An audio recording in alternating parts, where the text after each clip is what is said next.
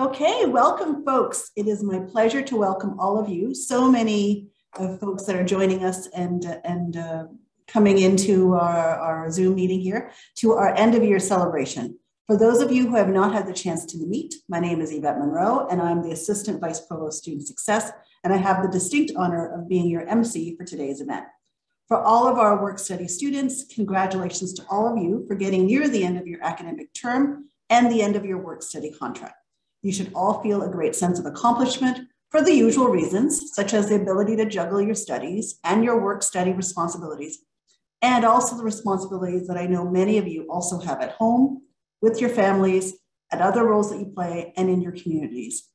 But you should feel also an extra sense of pride for managing to do so during a time that has required everyone to be a little bit more patient and ever adaptable, and working at a time that we don't quite know what may or may not be around our corner. Like many of you, I too also started a new job during this time, and I know the extra effort it takes to figure out your way around and to connect with new people.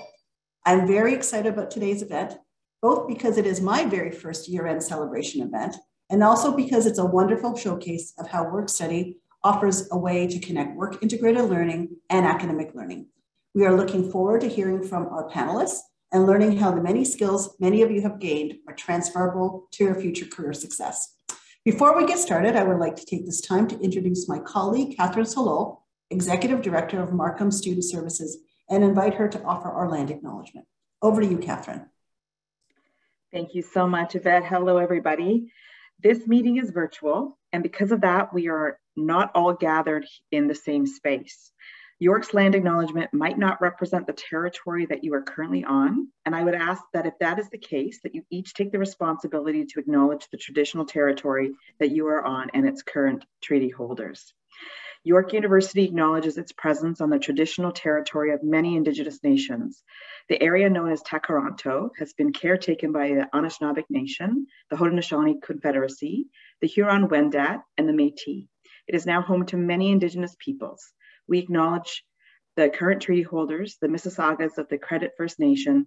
The territory, this territory is subject of the Dish with One Spoon, Wampum Belt Covenant, an agreement to peaceably share and care for the Great Lakes region.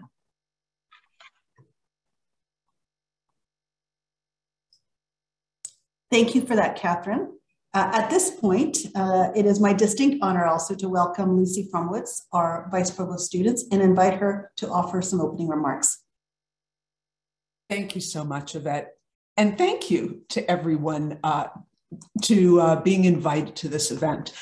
Truly one of the most exciting events that I experienced during the year.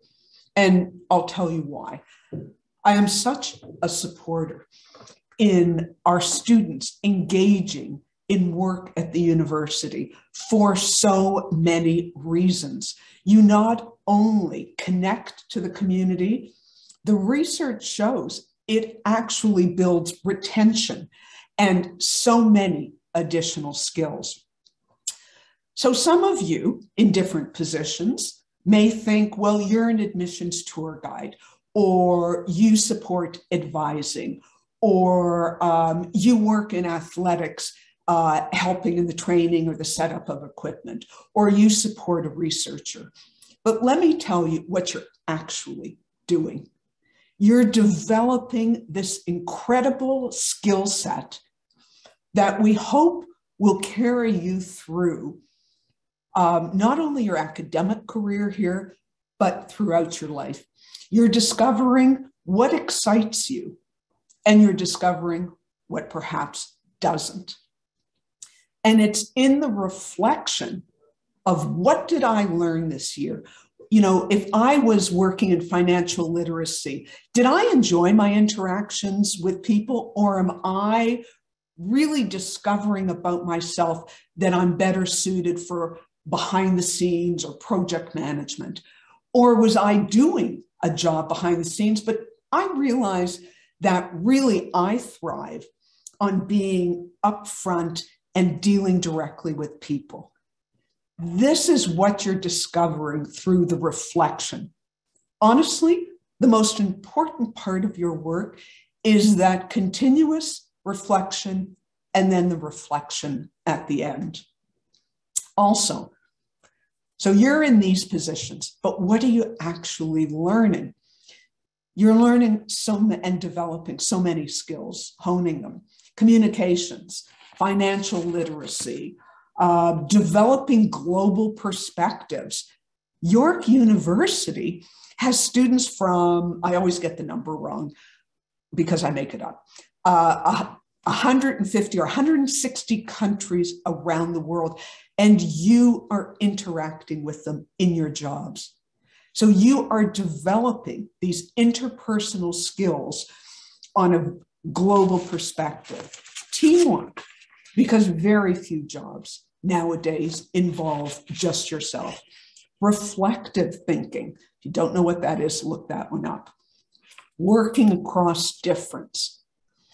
These are the transferable and the critical skills.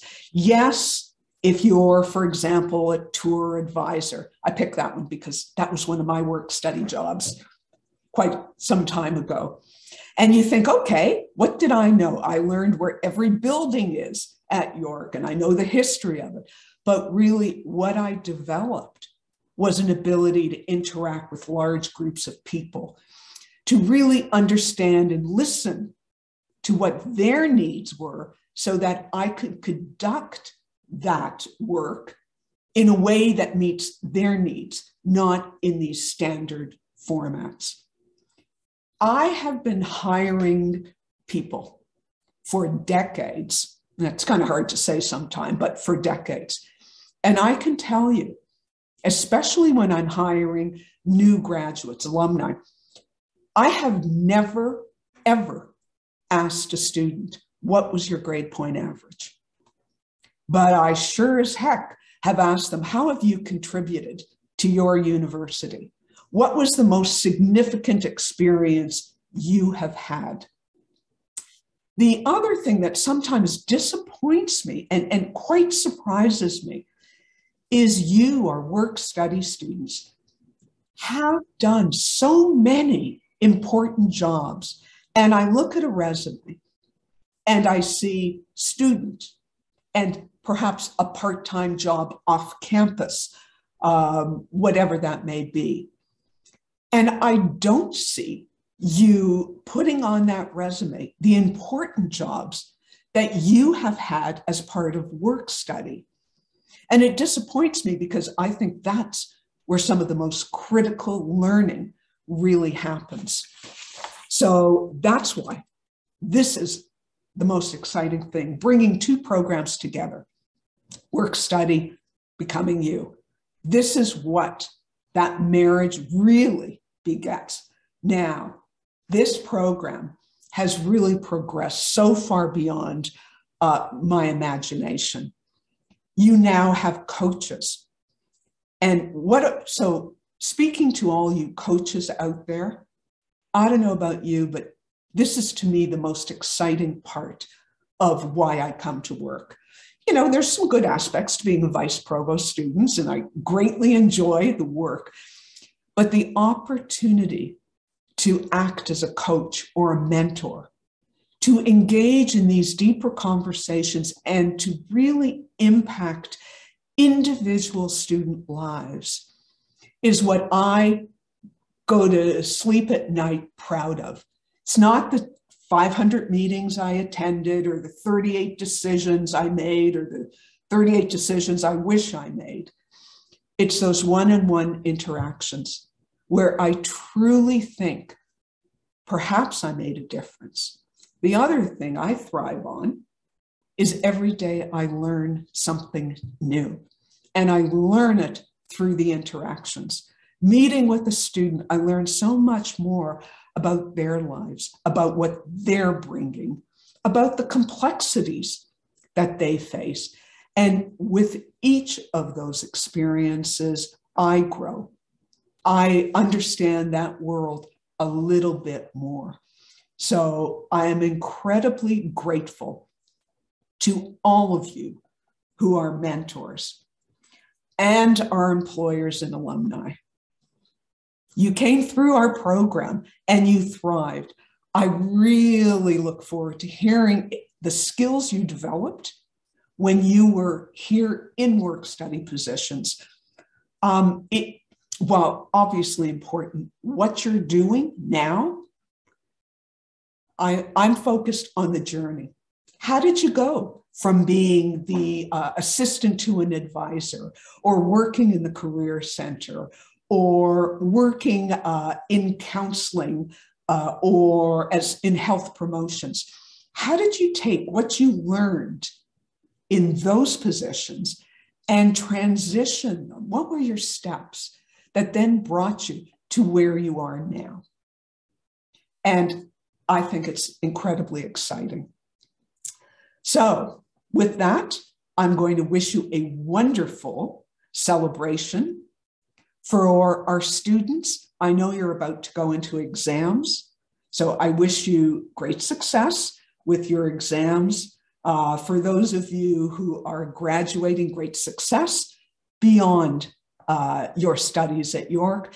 And for those of you who are returning, I really hope you are also returning to new work study positions because the variety of positions, a thousand of them that are available to you, each one is a growing experience.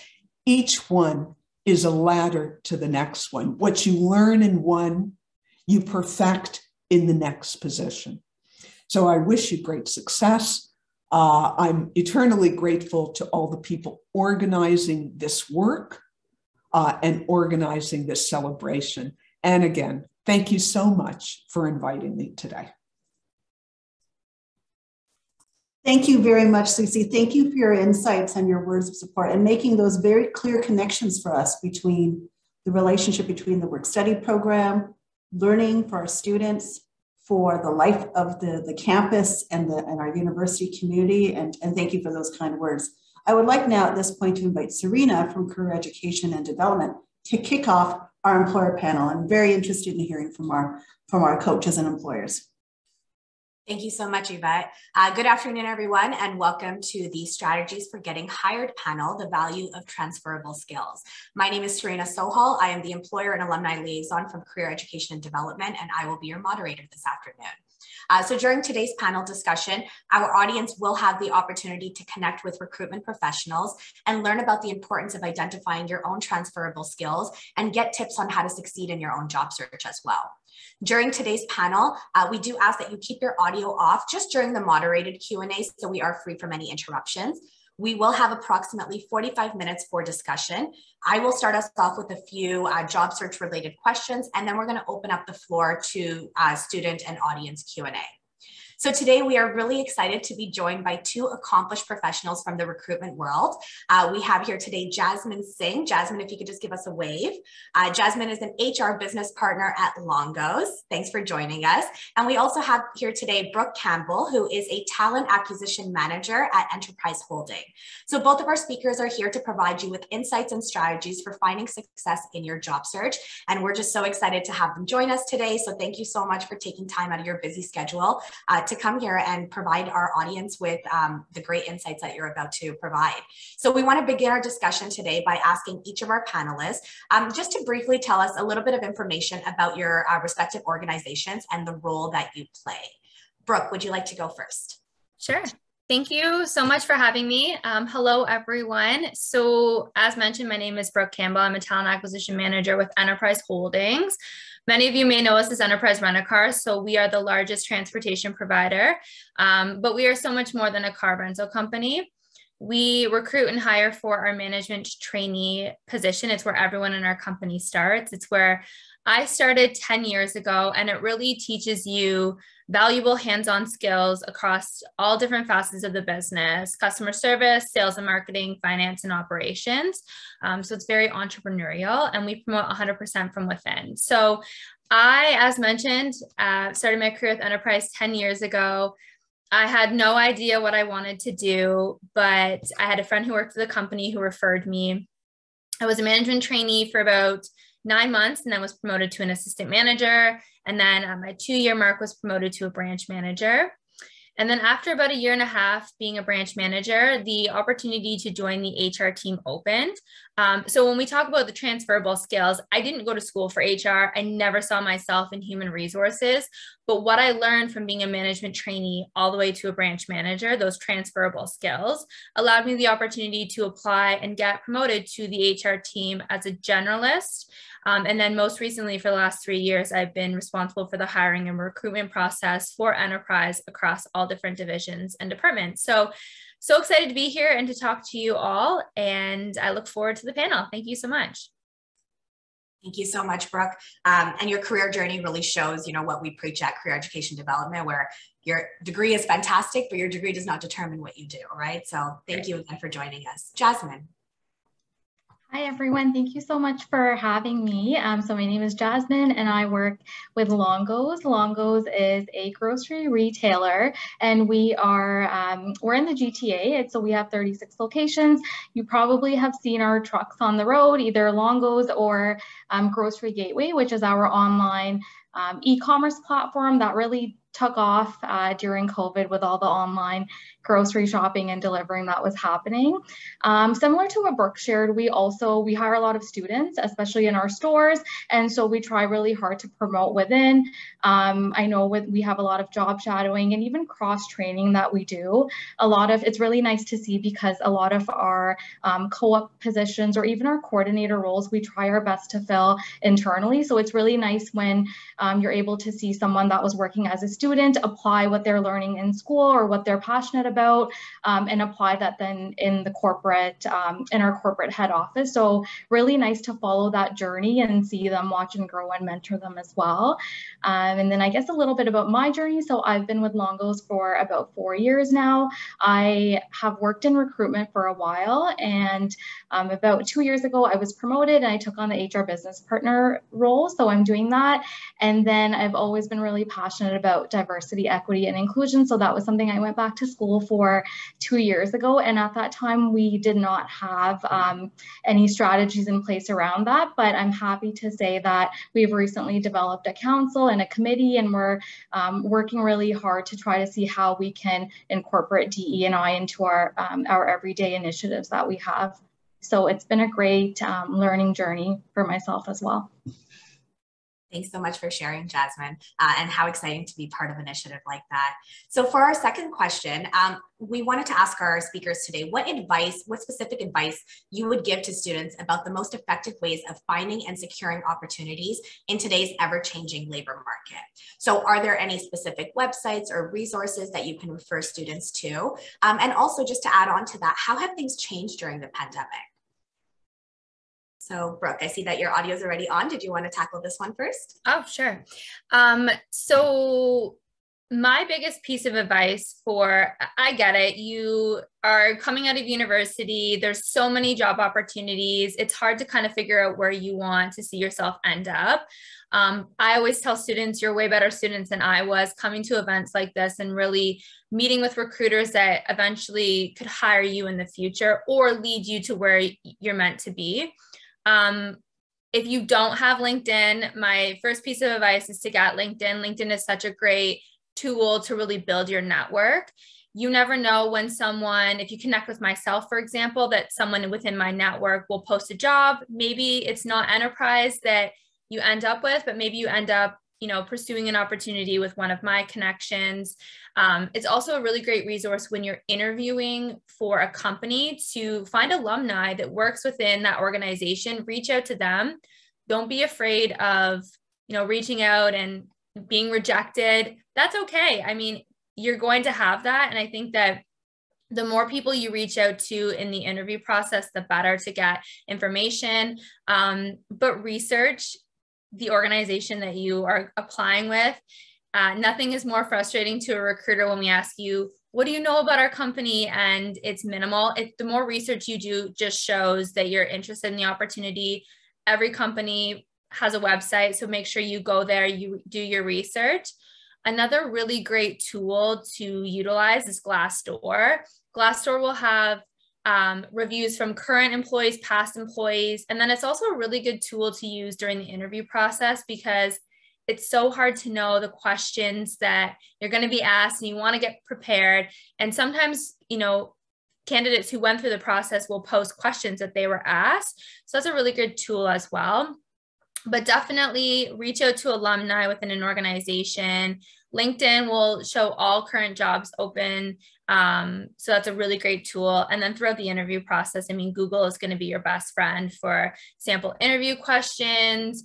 And again, to kind of figure out keywords like if you want to see yourself in sales google sales and that'll put pull up all the jobs that are open um, and don't be afraid to reach out i mean you have two um, HR professionals on this call today. Connect with us on LinkedIn, um, reach out, ask questions. I'm here to be a resource for you throughout the interview process.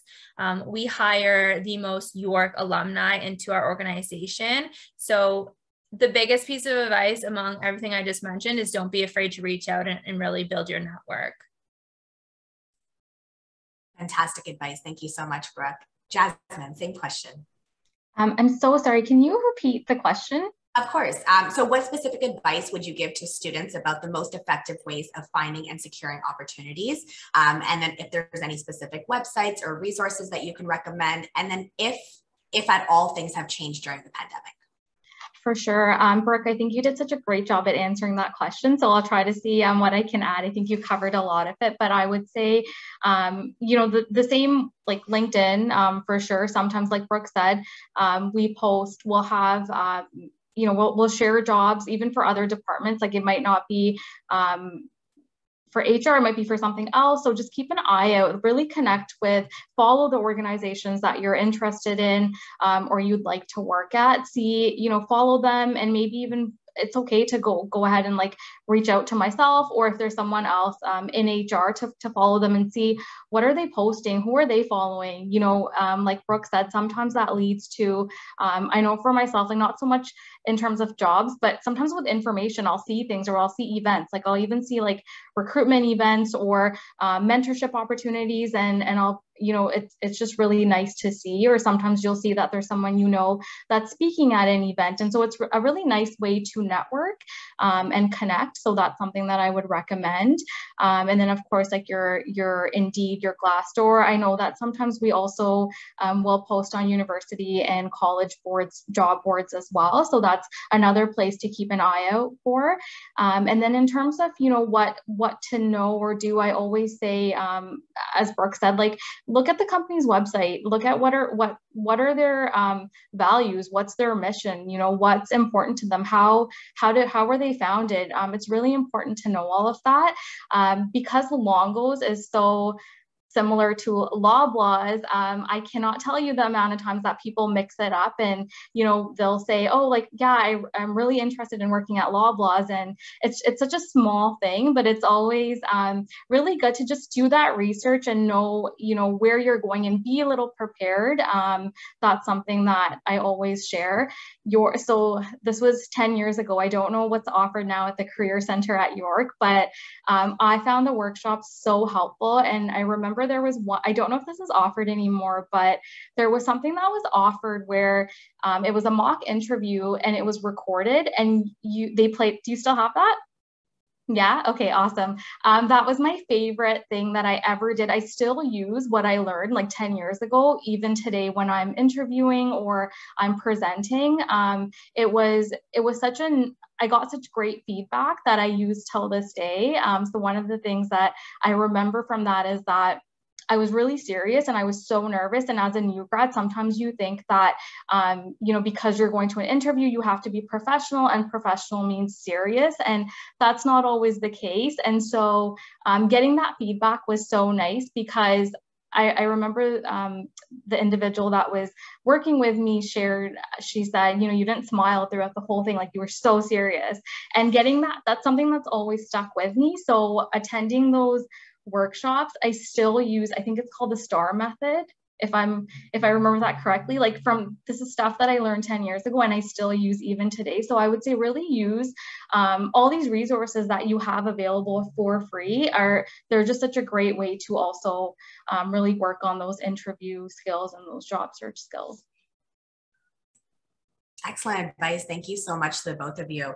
Um, common theme is research, research, research, right? And I, I think that's absolutely fantastic. Um, LinkedIn, alum connecting to alumni um, this is all great advice. And what i really want to put out there is that if as a job seeker you find that you need some extra support with those pieces whether it is um, really you know um, branding yourself online or whether it is how to connect with employers or alumni uh, please do know that career education development is here to support you. So as jasmine mentioned we do have workshops. Uh, we also do have individual support. So job search advising career counseling uh, mock interviews. These are all things that you can get support with as a student and up to two years after graduation. Uh, so definitely take advantage of those resources that are available to you. Um, Jasmine, thank you so much for those plugs. I promise we did not pay her for those. Uh, so I really appreciate you mentioning all the services that you found useful as well. Um, so for our next question, uh, I would like our speakers to um, describe the value of transferable skills. So all, both of you have mentioned this throughout a lot of your responses, uh, but for you, uh, describe the value of transferable skills um, that students will likely have gained during their work study positions that they may not be aware of. And what are some of the key soft skills that you look for in candidates when you're hiring? So Jasmine, did you want to start off this one? Sure. Um, so in terms of you know those transferable skills, I think that um, sometimes it's important to look at what is everything that like what are you doing so i remember um, you know when i was starting out and i didn't have a lot of work experience i really i attended some of these workshops and i remember that i um, ended up using a project that i had worked on in one of my courses. Um, i think it was called like creativity and psychology and i had done this really great project and because i didn't have a lot of experience but i wanted to work um, in a specific field i was able to use what i had learned um, and all the skills that i had gained do completing that project. So things like, you know, working in a group or working in a team, um, meeting deadlines, being creative with um, trying to problem solve. So there were all these skills that I had picked up along the way. Um, and, and because my work experience at that point in time was limited, I was able to use that or looking at volunteer opportunities. Um, you know, is there something maybe over a summer, did you volunteer um, or did you have like a very short term you know maybe it was like a two week contract like really think outside the box to think of what did you do or what are you doing um, not just it, it's okay like not everyone you know is working or has a part-time job. And so really look at what are some other things that you may do where you might have gained these skills. Um, a lot of i remember class work was in group settings. So looking at what are you doing um, you know in that class you're meeting deadlines, you're working in a fast paced environment, time management, because you're balancing maybe a full course load um, and maybe you are volunteering. So, really look at all the different things that you're doing and what skills um, you're picking up from there. So I think that would be um, something that I know I used when I was when I was first looking um, for a job. Don't remember the rest of the question. I'm so sorry. No, that's okay. I, they're they're heavy questions. Um, the second part was what key soft skills do you look for in candidates? Yeah. So, um, you know, I think this is like, it goes, so, so two things. One is it depends on if the role is more um, analytical, I will look at, obviously, you know, you might not have like, um, the intense like IT skills that we're looking for. But if you've used and you've listed, you know, maybe some programs that you've used, um, like that's, it always goes back to the job. Um, always I always try to tie it back to what are we hiring for. So if you're in an HR role, I know that um, you know you're going to be communicating a lot more. You're going to be dealing with team members a lot more. So really, I would always say to look at. Um, it, it, really depends on what the position is. There might be some roles where um, you know you're not commu- like maybe you're working by yourself. Um, so you're not. There's not a lot of communication that's happening. Um, you're coming in and you're you know doing whatever it is and then you're leaving. So really depends on on the job i would say. Um, but but of course like those you know communication skills interpersonal skills um, all of that i think those are fairly common. Uh, but other than that I, I would say it would depend on the role. That's fair. Thank you so much. Brooke yeah, so I think that um, Jasmine did a great job in, you know, speaking to what you learn on campus, and I know Lucy mentioned this as well. And I think it's important to, as Jasmine mentioned, think outside the box and really um, kind of pick, you know, so in every position that you apply for, there's going to be a job posting that's going to list the qualifications and the core competencies that the employer is looking for. So um, my p- piece of advice there, as kind of Lucy mentioned, you know, you may put your part time job, but it's all the other things that you've done on campus and really tailor your resume to the specific job that you're applying to. I know you might apply to many opportunities, but take that extra few minutes to really tailor your resume um, to the, the, certain skills, the soft skills that you've been able to develop that the employer is looking for. Um, so at Enterprise, we for every position that we hire for, we hire based on those soft skills or what we call core competencies. So leadership, um, very similar to what was mentioned.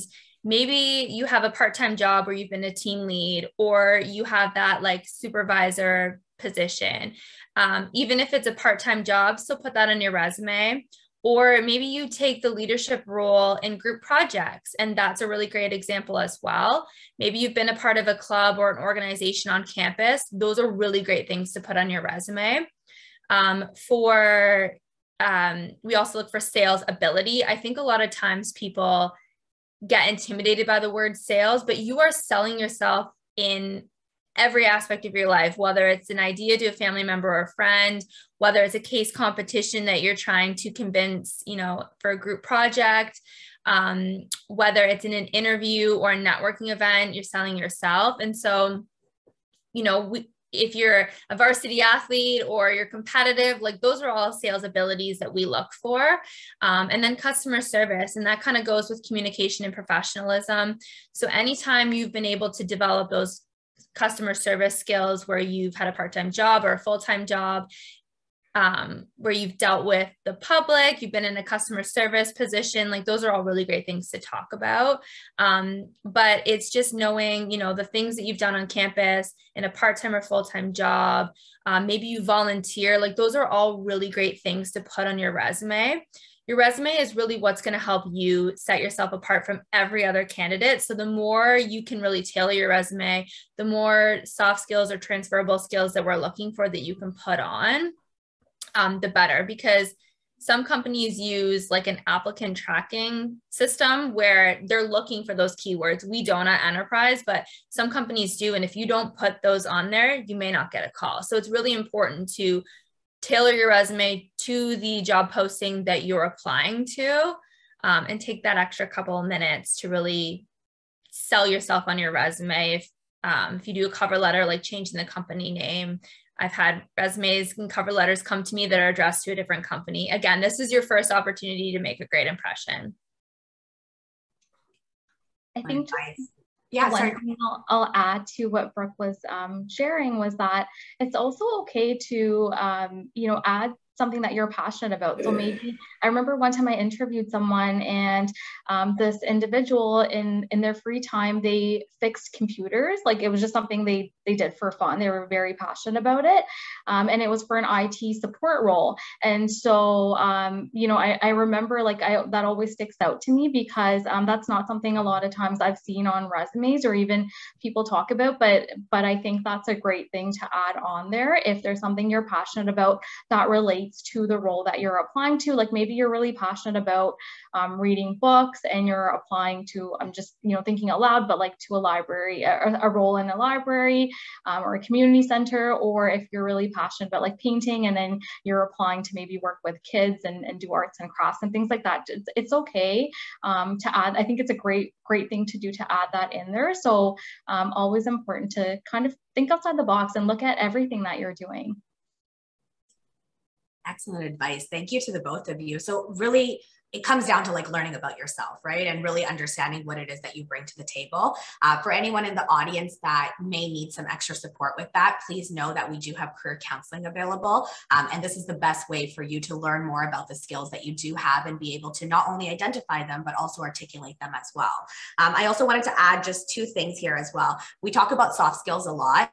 Um, and one thing that I wanted to mention is yes, follow the advice that's provided to you and tailor your resume and really include those hard hard and soft skills. But especially when including those soft skills, um, understand what that means for you. Many times we may say we have excellent communication skills or great interpersonal skills, but the minute you're asked to provide some evidence or an example, um, that's where the struggle comes into play. So going back to what Jasmine mentioned before about the STAR formula, I'm going to send a resource into the chat for that as well. Uh, but really having really having that evidence and really having that story of when you've demonstrated that is very important.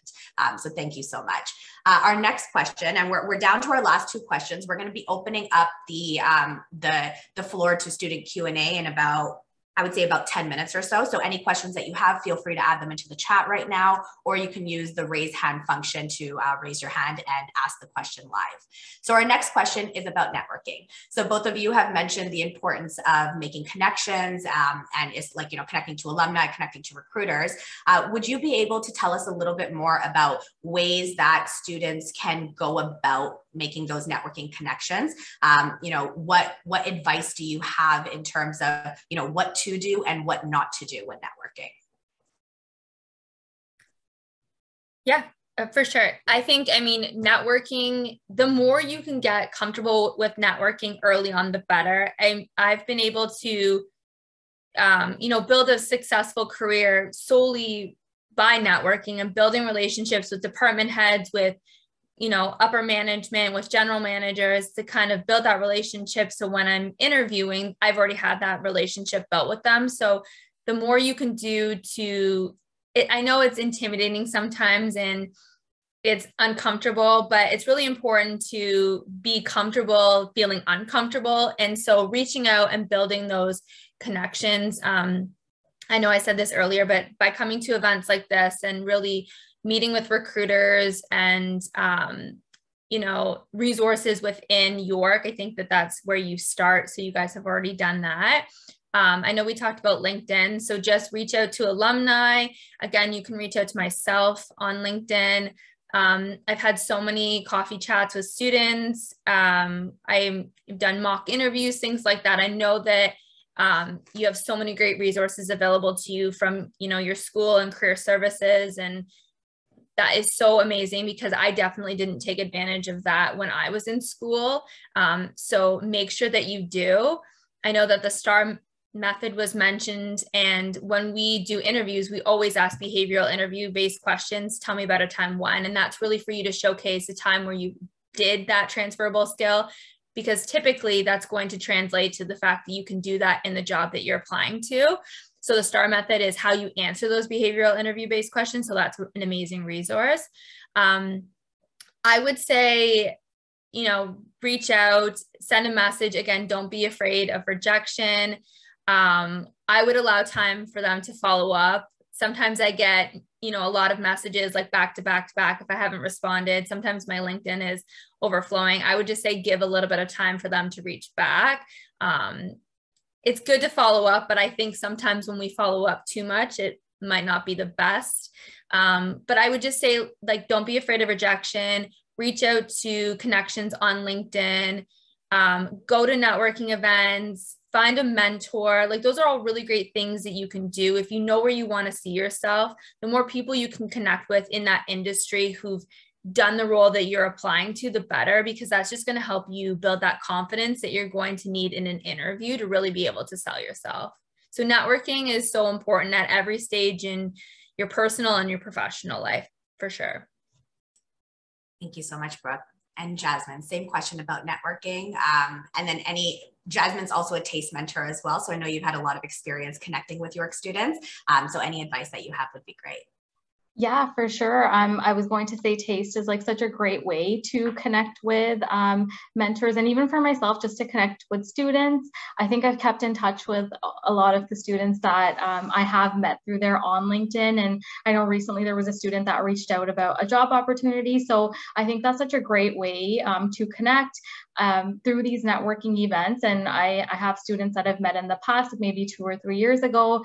Um, there's one student that reaches out to me like every, I would say like six months just to check in. And it's such a nice way to keep that relationship going. And I always remember, you know, she'll just remind me that she'll say this is what i'm doing now um, but i'm, st- I'm still really interested in hr and so it's always nice because then when someone asks me for example you know either at, at Longo's or at another organization um, you know when someone lets me know that they're looking for maybe an hr coordinator or you, know a marketing specialist i remember that there was this individual that i've, I've met and that's interested in this and then i can you know um, help them connect. So i think that's a really great way like all these networking events. I know that um, since covid a lot of the events have shifted to online platforms. And so, um, you know, great to attend those and sign up for them. It's also really great. Um, I know that sometimes, for example, at Longo's, because we have a lot of students working in our stores, a lot of part-time students, um, you know, sometimes it, depending on where you're working, say you, you have a part-time job and you're interested in working in a different department, um, you know, maybe reach out, maybe like like speak to your boss or your supervisor and find out um, what are some ways that they that maybe they can help you network and connect with others in the company that may be able to help. I think that's um, a really great way for people to know that you know you're interested in something and you're wanting to grow and learn. And so um, i've seen it happen several times where we've needed support in a certain department for like three weeks. And then we've been able to we're look we we look to see you know is there anyone that anyone knows in the company that that is interested in this, any students that are working casual or part-time opportunities um, that are looking for that experience. So I think just um, being open and my boss always says this thing, she said, she says, you have to keep it real. And so, you know, just let people know that this is what you're looking for and this is what you want to do. Um, and you never know where that might take you. I think also um, I know for myself, like when I was a student, I remember reaching out to my family and friends. Um, I didn't know anyone that worked in HR, so and I wanted to work in HR, so I reached out to my family and friends. And there was someone that um, had a friend that worked in HR, and I was able to meet with them and just ask them questions and um, get to know more about their role and what they do. So um, yeah, a lot of, I would say everything that Brooke mentioned um, as well. I think she had some great tips there for sure. So yeah. Wonderful advice, both of you. Thank you so much. Um, I have added some resources based on what both of you mentioned as well. Um, and the, the, main thing that I just wanted to add on to everything that you said is going back to that research aspect, right? So, researching and really preparing yourself. Um, the main thing to remember when doing informational interviews and connecting with alumni and professional in your field um, is that the, the accountability is on you uh, to organize those events, to really take the onus and, you know, um, schedule the meetings and follow up with people as as well. So um, you're going to be the one leading that interview. So it's important for you to be prepared as well. But thank you so much. So for our final question for the moderated piece, um, I'd like to ask both of you to really think back to the candidates and applicants that you've come across. Uh, and if you could let us know, what would you say has distinguished those candidates or applicants who succeeded in the various stages of the recruitment process from those that did not? So what made those that succeeded successful? Jasmine, go ahead. Sure. Yeah. Um, I, you know, I thought about this. Um, I think about this often because um, I remember a lot of the tips that I learned when I was um, doing all these workshops at York, and they're still all true even today. So oftentimes they're such small things. Like I will sometimes I've had resumes where um, you know I there's no phone number, the phone number is wrong, or the email isn't correct. And so it's really difficult um, for me to get a hold of this individual that I really want to um, speak to and learn more about. So it's it's these it's these small things, but they're such big things. So it's always making sure that your resume is up to date, that your contact information is at the top where um, you know it's easily viewable and it, and it's it's big and it's clear and it's correct. And if you change your number, then you know make sure that you've updated that on there. Um, I think another one is like sometimes I get resumes that are 12 pages long. I've seen that, or like six pages long. And so, really important to make sure that that document is, you know, I, I think I, I remember learning like around two pages and um, that that's what it should be. But um, even if you have to go over, just make sure that the information you're putting in there is relevant information and, um, you know, that it's consistent. So, um, and, and, that it's not six pages long because that's, that's a lot for us to look at. Um, I think another one is researching. This has come up so much already, but um, if you're applying somewhere, um, even before I go to research, I would always say if you've applied somewhere and you're applying to a bunch of jobs, I always say that it's really important to save a job posting somewhere and make a note that you've applied to that job because there's been times where I've reached out um, and said, you know, I'm calling from Longo's, calling in regards to this job opportunity that you applied for and the person will say that um, they don't remember they've been applying to a bunch of jobs they don't remember can i remind them what the job was. Um, so really important to just, I, I, I used to do this. I would make a note, um, you know, on my computer of all the jobs that I applied to um, and try to save a job posting if you can, because then when you are doing a pre-screen or you're even going in for an interview, um, you know what you've applied to, but also it'll help you formulate any questions that you may have um, or, or maybe there's something you're not sure of and you want to find learn more about um, i think that's a great tech strategy. Um, I would say, and then I would say researching. So like I had said in the beginning, um, you know, read about the company, read about their mission, their vision, their values, um, know all of that. And it can then help you, like use that information to help you when you're in the interview and you're answering questions and tie it back to the vision, mission, and values. It really shows us that you've done your research and um, you know you you've looked into it and you know what you're talking about and it's okay to say we're not expecting you to come in and know everything that we're asking you it's okay to say you know i haven't dealt with that situation in the past but if i this is how i would handle it. So walk us through um, show us what you would do and that shows us your problem solving ability and just um, how you're critically thinking and thinking on your feet. So um, you know, it's okay that you don't have experience doing or you're not able to answer whatever question it, it is that we've asked. Um, but it's always good to say, you know, but this is what I would do, um, or this is a similar situation. And I think I can use some of the learnings here and then share um, what that was. So those are some, some of the tips that I have. Thank you so much, Jasmine. And Brooke, go ahead.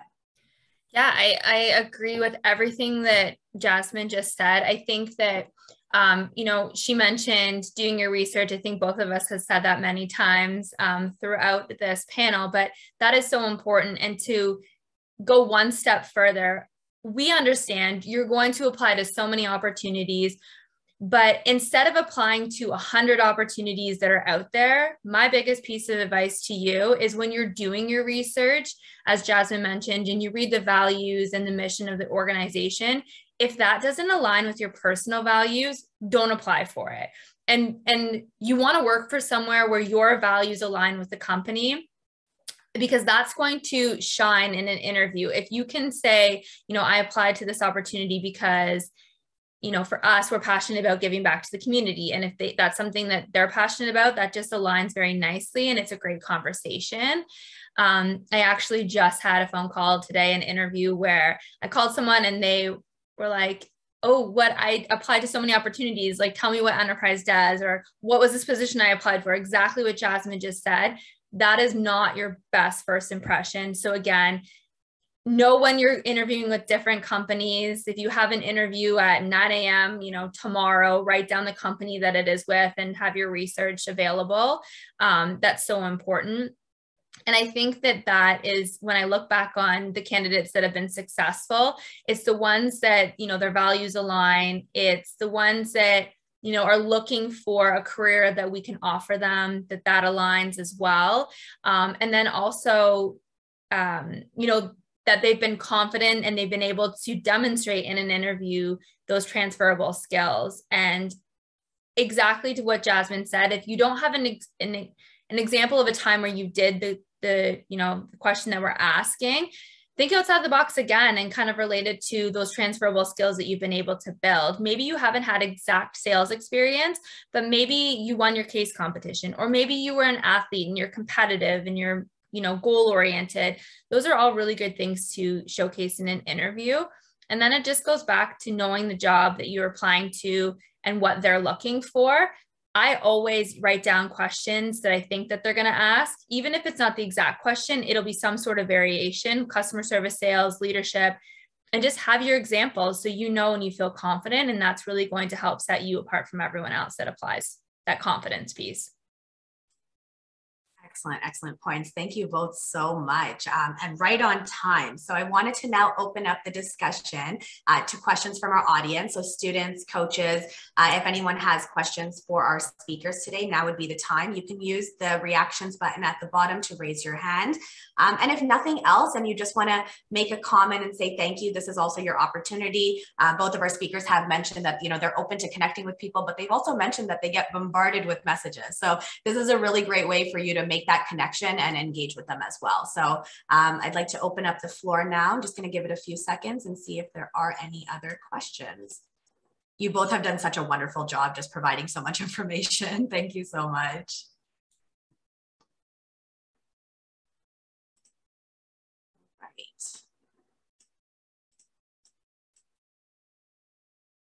Okay, so I don't see any questions at this time. So I'm just going to throw out one last question here. This is always a fun one. Uh, we talked a lot about you know what to do and the advice that you have when it comes to recruitment um, would you be able to tell us some of the common mistakes and red flags that you've seen in applications that you would like students to avoid yeah definitely i um, you know when jasmine mentioned making sure that your resume is up to date with your your current contact information i think it's also a great opportunity for you to do a little bit of a self reflection if you've had the same email address since you were a teenager i've seen really unprofessional email addresses. So maybe it's a it's a great time to update that to use your school email address. Um, spell check do a grammar check send your resume to a family member or a friend to proofread for you um, because spelling and grammatical errors, I mean, that's again your first impression. Um, and then we live in a virtual world right now. So test your technology. A lot of your interviews are going to be virtual, probably the first one as well, or maybe a phone interview. Um, make sure you're in a quiet area. I've interviewed, um, I always use this example. I once interviewed someone who was it was virtual and they were in bed like literally under the covers. Like that is not the greatest first impression. And just make sure your background is um you know if you're in your bedroom because that's a quiet place in your house like make sure your bed's made like all those things that maybe you don't think of that again will just help you set yourself apart. And when we talk about that professionalism piece um, and then i would always prefer to be overdressed and underdressed. Just know when you're in an interview, you again, that's your first impression. you don't know what to wear, always overdressed and underdressed, or it's okay to reach out to the recruiter and ask what the dress code is. Again, that is your first impression when you walk in the door. And then also, when you walk in the door, that is when the interview starts. So if you go to a front desk and you meet with an administrative assistant who's going to help you, you're selling yourself from that very point. When I used to do interviews, I always asked, you know, our administrative assistant, like, what was your first impression? And if you don't say hi, you don't smile, that's not a great first impression. So just remember when you walk in the door, that's your first impression, and you always want to be on time. So those are just a few of the things that I've come across over the last, you know, several years of doing this that I always like to share because some people it it might not be common sense for everyone and that's okay but whatever we can do to provide these resources to you is going to help you in the process excellent advice jasmine i'll get you to tackle that question as well and i see two sure. other questions in the chat Sure, um, Brooke. I think you know you you touched on some really key things there. Um, a lot of what I was I was thinking, or what I've seen as well on resumes. Um, I think the one other thing I will add is um, again, just make sure, you know, dates on there. Um, sometimes I'll see, you know, you just want to make sure it's consistent, right? So if you have, um, you should be putting dates on there. So if you're working somewhere and it was a part-time job and you're not working there anymore, you know, really, really want to make sure that's updated. Um, if you're currently in school and you're not done yet, you know, we want to make sure that um, that's clear and we can see that it's in progress. Um, so really just make sure that your resume is accurate and also that it's consistent. I think that's a really important one. Um, the biggest thing I know that I, uh, I still use when I'm presenting or I'm going into an interview is I know that a lot of times it can be really nervous. It's, it's an interview, right? It's a big deal. And so really just, I always, I do this for myself and I always encourage like when I'm mentoring others and they have interviews, um, take a few minutes before the interview and just work on like maybe grounding yourself. And it's okay to pause. Like it's okay when you're in the interview to just pause for a minute and take a deep breath. You don't always have to rush to answer the next question. It's totally okay if you need a few seconds to just gather your thoughts. Um, and it's okay to say, like, you know, I, I appreciate when people say, you know, I just need a few minutes to gather my thoughts. Is it okay if we take a couple seconds? Um, because, yeah, it can be a really nerve wracking process. Even though I've been interviewing for so long, whenever I have an interview, I still get nervous. So it's, it's a normal thing that happens that we feel anxious or whatever it is. So I would say spend a few minutes before you enter. Um, I know nowadays, that, you know, a lot of interviews have moved to Zoom or, or online. So still take a few minutes to just ground yourself and be in your space and be confident um, practice research practice you know your your key examples that you uh, might be sharing those are some some tips that i that i have Thanks so much. Okay, so I see four questions in the chat. We have four minutes left. So what I'm going to ask you to do is I'm going to present the question. I'll get one of you to address it. And if you can answer in about 30 seconds, that, that'll be your challenge for today. Um, okay, so first one that we have here is um, what advice would you give to someone to overcome the lack of experience issue if they feel that they may be lacking the required amount of experience? Yeah, so I can quickly answer that. I think that just goes back to those transferable skills. In in university, I mean, you all went to school for four years. Maybe you did something prior. Just think of those skills that we're looking for. Again, if you're the team lead in a in a project, if you've done a case competition, if you've been involved, it doesn't have to be work experience. It can also be volunteering. It also can be, you know, roles that you've had on campus and group presentations. Um, I don't think that you should not apply but if you don't have the transferable skills that we're looking for um, then maybe it's not the right opportunity. But again it just goes back to those transferable skills and being able to you know sell that you built these skills maybe not from work experience but from on campus experience Great advice. Thank you. Our other question that we have here is uh, to do with resumes. So um, this individual has gotten kind of mixed reviews of do you put everything on your resume of everything that you've done, or do you only put relevant job experience? I think we have answered this, but Jasmine, did you want to maybe tackle this one?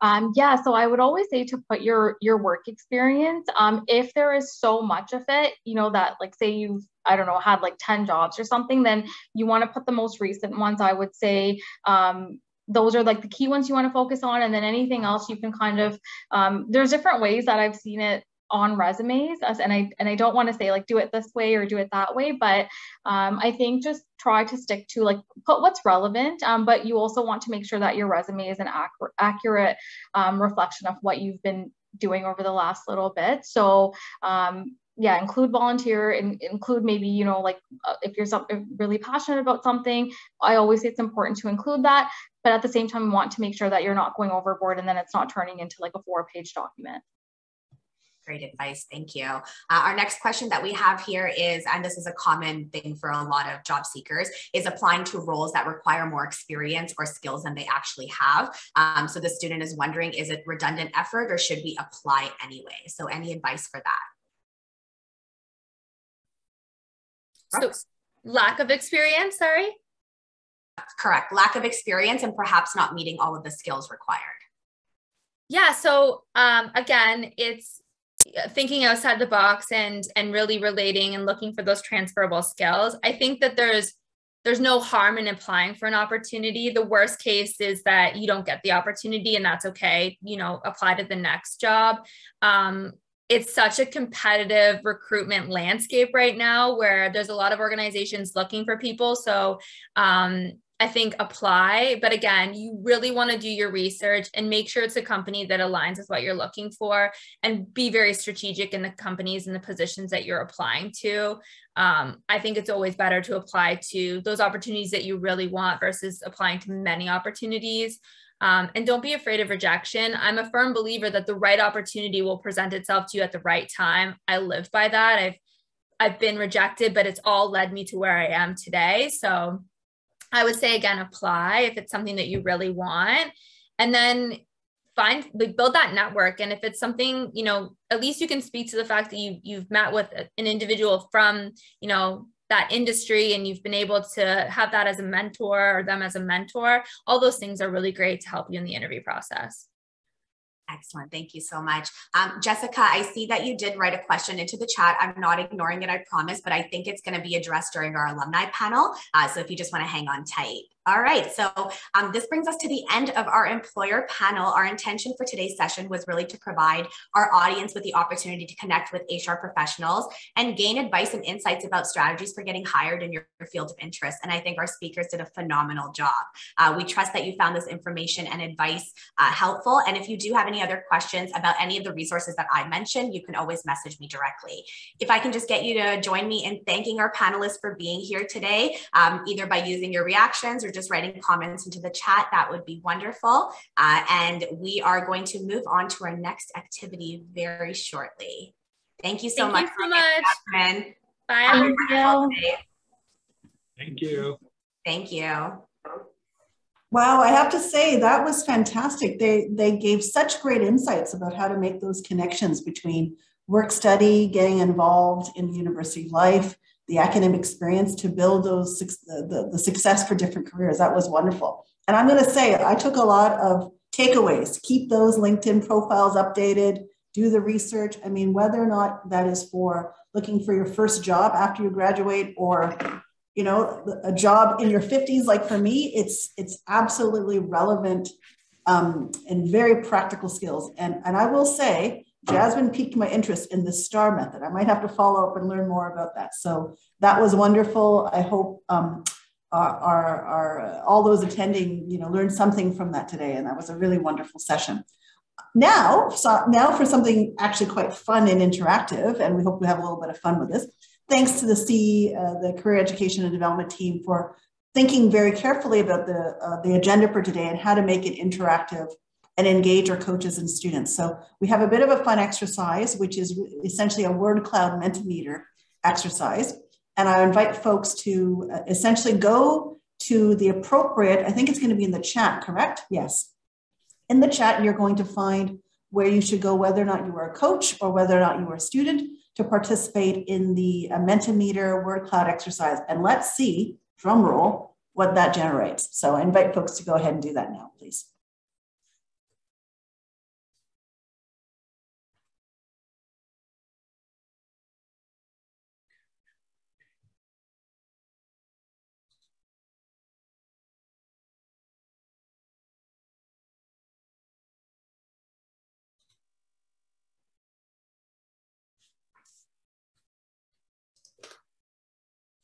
I love seeing how the words change.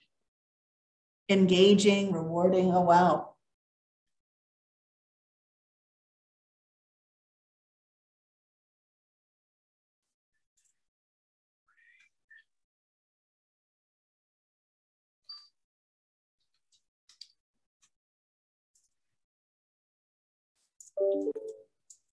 Is this combining both the coach and the student? No, this oh, that's an interesting exercise. I think this is just a coach right now. I, will be very curious to see what our students, how the words are different from the students.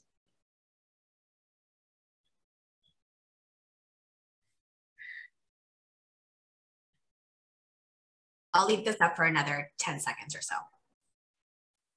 Game changer. I see game changer.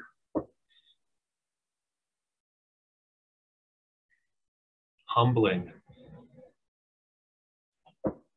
Definitely rewarding. And that's wonderful to hear from our coaches that they, they found that rewarding. You know, for us, uh, being, being a Becoming YU coach, we know uh, is, you know, a, a special role that our coaches play above and beyond what they already do at York. And so it's wonderful to get that feedback that they also find that rewarding. And Serena, now do we take a look at the, the student Mentimeter word cloud? Yep, sorry, just give me one second here.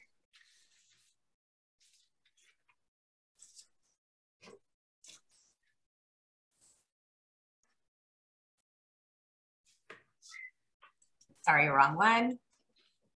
Take your time.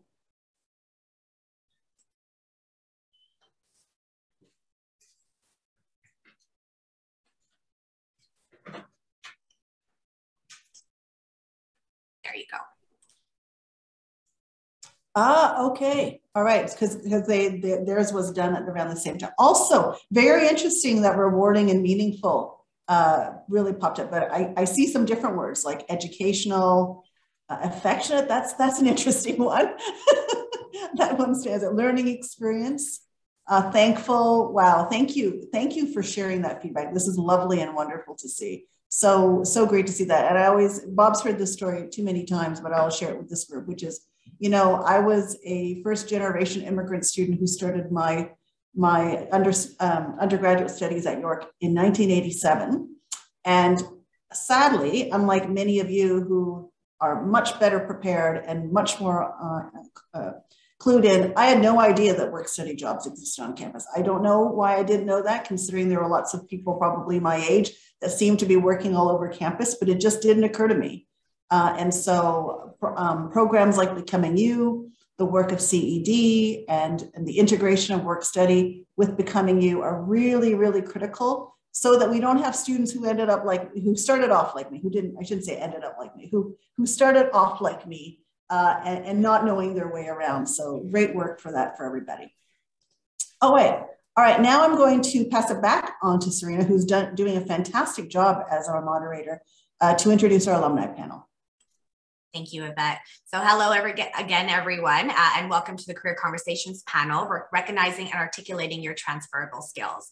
So during this panel discussion, you will once again have an opportunity to connect with our speakers who are all York alumni. You'll be able to learn about their career journeys and the transferable skills that they gained during their own work study positions at York. Speakers will share advice on how students can begin preparing for life after graduation by providing tips, resources, and insights. We once again have 45 minutes for discussion, so we'll follow the same format. I'm going to start us off by asking our speakers a few career related questions, and then we'll open up the floor to take questions from the audience. This time, I would like to ask you if you do have questions for our speakers, if you can type those into the chat ahead of time, uh, we can just make sure that we have enough time to address them as well. Uh, so today we are really excited to be joined by three accomplished alumni. We have here, um, if I could just get you to wave as I say your name, um, Althea, welcome. Cindy, welcome. And Luxna. Thanks for joining us. So our three alumni are here to provide you with insights and strategies for finding careers and resources as current York students and new graduates. So without any further delay, I'd like to ask our speakers to begin by just taking a quick minute or two to introduce yourself, briefly tell us about your current role and your key responsibilities within your current organization, um, as well as the work study position that you held at York. Luxna, would you like to start us off? Yeah, sure. So, hi everyone. I'm Laxmana. Um, I'm the Web and Communications Coordinator for uh, the Division of Students, but more specifically for Career Education and Development. Um, so, a lot of the work that I do is around uh, generating communication strategies, social media strategies, um, also doing stuff for the web, so website redevelopment projects and the like. Uh, while I was a student at York, I was actually working for career education and development as the graphic design and multimedia assistant. Um, a lot of the work that I was doing then was similar to what I'm doing now, but uh, a little less intense. So, uh, generating social media graphics, uh, working with my coach to um, revitalize really the brand of CED, and also um, starting the Instagram channel, which was a really fun project as well. So, yeah, that's a little bit about me. Thanks so much. Althea, would you like to go next? Absolutely. Thank you. Hi, everyone. It's so nice to see everyone's smiling face and some of my coaches and my students in here. So, hi. Um, my name is Althea. My pronouns are she and her. My official role at York is the Student Success Coordinator. Um, but really, really that means that I help coordinate some academic support initiatives across labs. Um, some things that you might be familiar with are PASS, our peer assisted study session program. Um, but I also work on really cool projects like the IM mentoring and tutoring program, which is something that we're working on with high school students who are uh, Black youth in foster care um, and helping them discover pathways to education. So I love my job, very interesting role for a very non-interesting name, um, but that's what I do at York. Um, and I held various positions while at York. So I've kind of hopped around a lot when I was an undergrad. I started working at the Faculty of Health as a leadership coordinator, and basically that meant that I helped out with York Orientation Day, which I hope most of you are familiar with. Um, and then I also had the pleasure of working at the Student Community and Leadership Development Department, so SCNLD, and I worked at the, you know, the Google in the middle of Vari Hall. That's where I was for many years. And I also worked with UStart. So that's a very quick summary of my, my jobs at York. Thank you so much. Cindy. Hi, everyone. So my name is Cindy, and I graduated from York in 2018 with two degrees. So I always thought I was going to be a teacher, so I decided to pursue a major in primary education and digital media. But halfway through university, I realized that I didn't want to be a teacher anymore, and I had no idea how I was going to pivot my career. I remember the summer before my final year, I saw a classmate post a work study position on Facebook that he previously held. So I reached out to him asking him more about the role.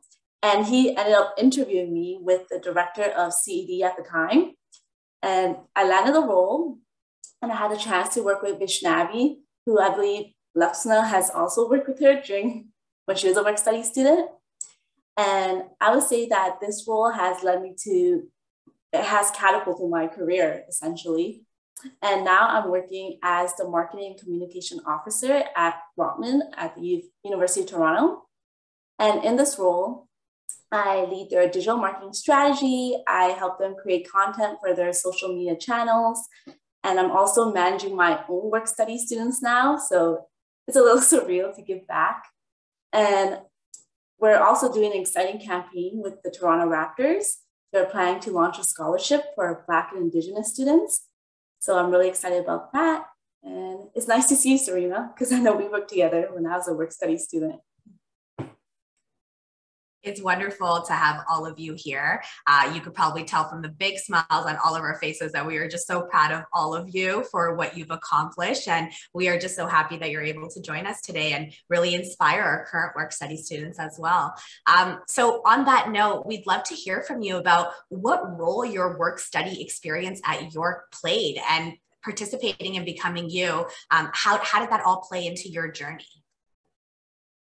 Anyone that would like to tackle that first? Just go ahead and turn your audio on.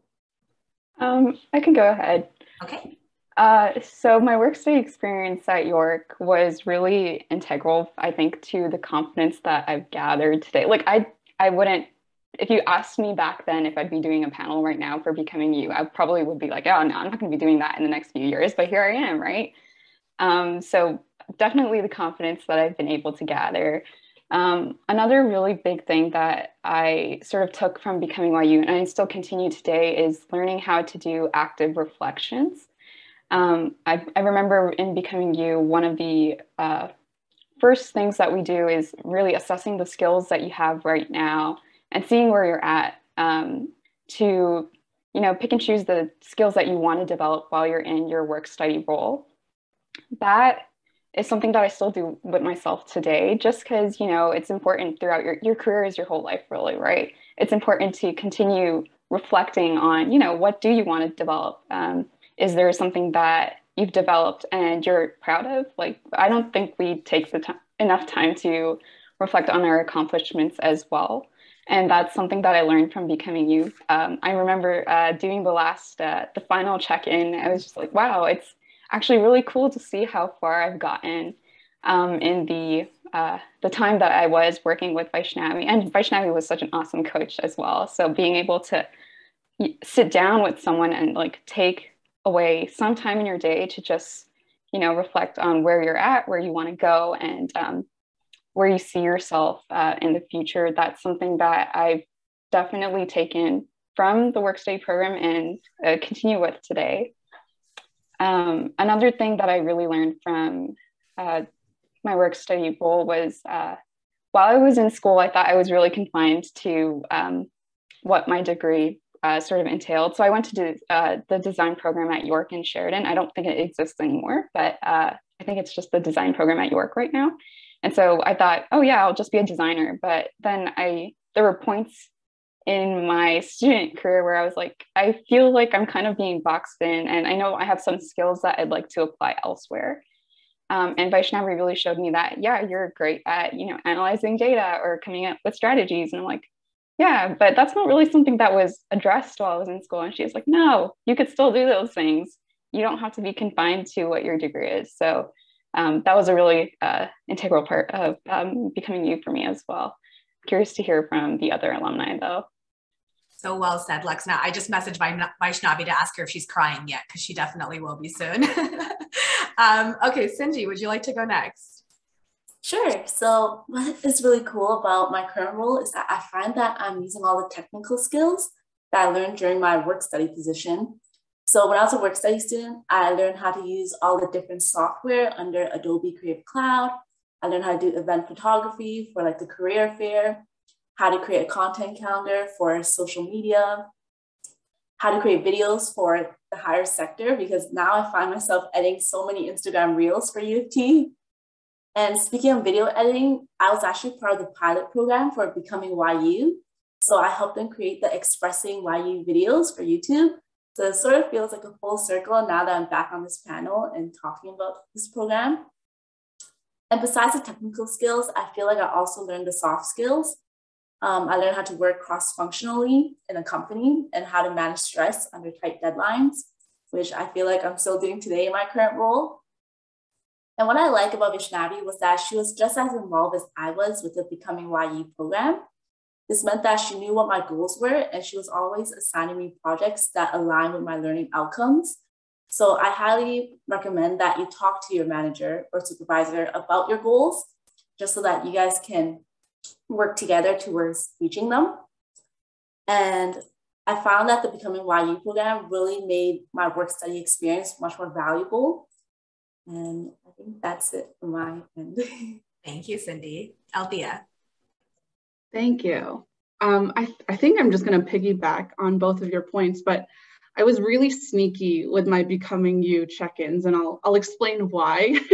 um, but I had some really phenomenal coaches who sat with me and talked regularly with me about my life goals, the skills that I thought I was really good at, um, and my educational goals. Because I was, for context, in my third year or second year in psychology, didn't want to pursue psychology. I was really good at it, but I did not want to do it anymore. So I was kind of just, okay, I'm going to finish this degree and figure it out from there. So the reason why I was sneaky was because I actually used those uh, check-in moments as a mentorship session. So I was like picking their brain. I'm like, okay, what should I do with my life? Where can I go with all of these random skills that I've picked up through all of these jobs? Um, and so my coaches really helped me reflect on my own leadership, and help translate those into things that I wanted to improve on. And I'll give an example. I really had a lot of experience on leadership uh, sessions and trainings. And I know that when I was in a position to lead other students in those team lead, thank you, Seba, in those team lead roles, um, I wanted to make training that was fun and engaging, but also, you know, piqued my interest with group dynamics that I learned from psychology, but also, you know, build a really strong foundational team. And so I went up to my supervisor at the time. I'm like, hey, I want to make training really, really cool, but I want to make it fun and I want to make sure that this team is unbreakable. And she's like, okay, Althea, if you think you can do that in one week, go ahead. And so that was my huge kind of project that I had to do. And I did it, but I really was only able to do it because I had a coach who understood kind of all the components and intersectionalities of my education with my goals and my like maybe hobby of leadership development that I didn't understand kind of how those intersected. Um, and that was actually really crucial, the fact that I had coaches who knew me so well, because when I ended up going into grad school, so plot twist, I ended up getting an MEd, um, a Master's of Education. I actually had really, really bad imposter syndrome and I had no idea why. And I was like, super nervous all the time and just, just so intimidated with the people in my class.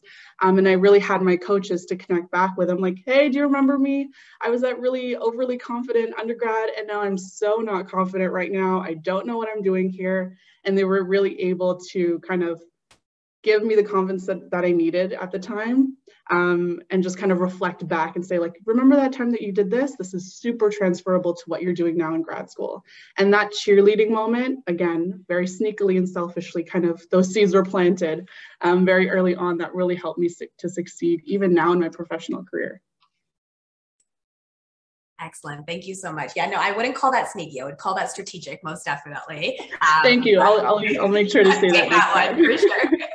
uh, okay, no, uh, that, that was amazing. You, all three of you are so inspirational. I mean, I feel like crying. I can only imagine what your coaches feel like right now, but you guys, you guys are amazing. Um, what advice and resources do you have for students who are looking to prepare for graduation?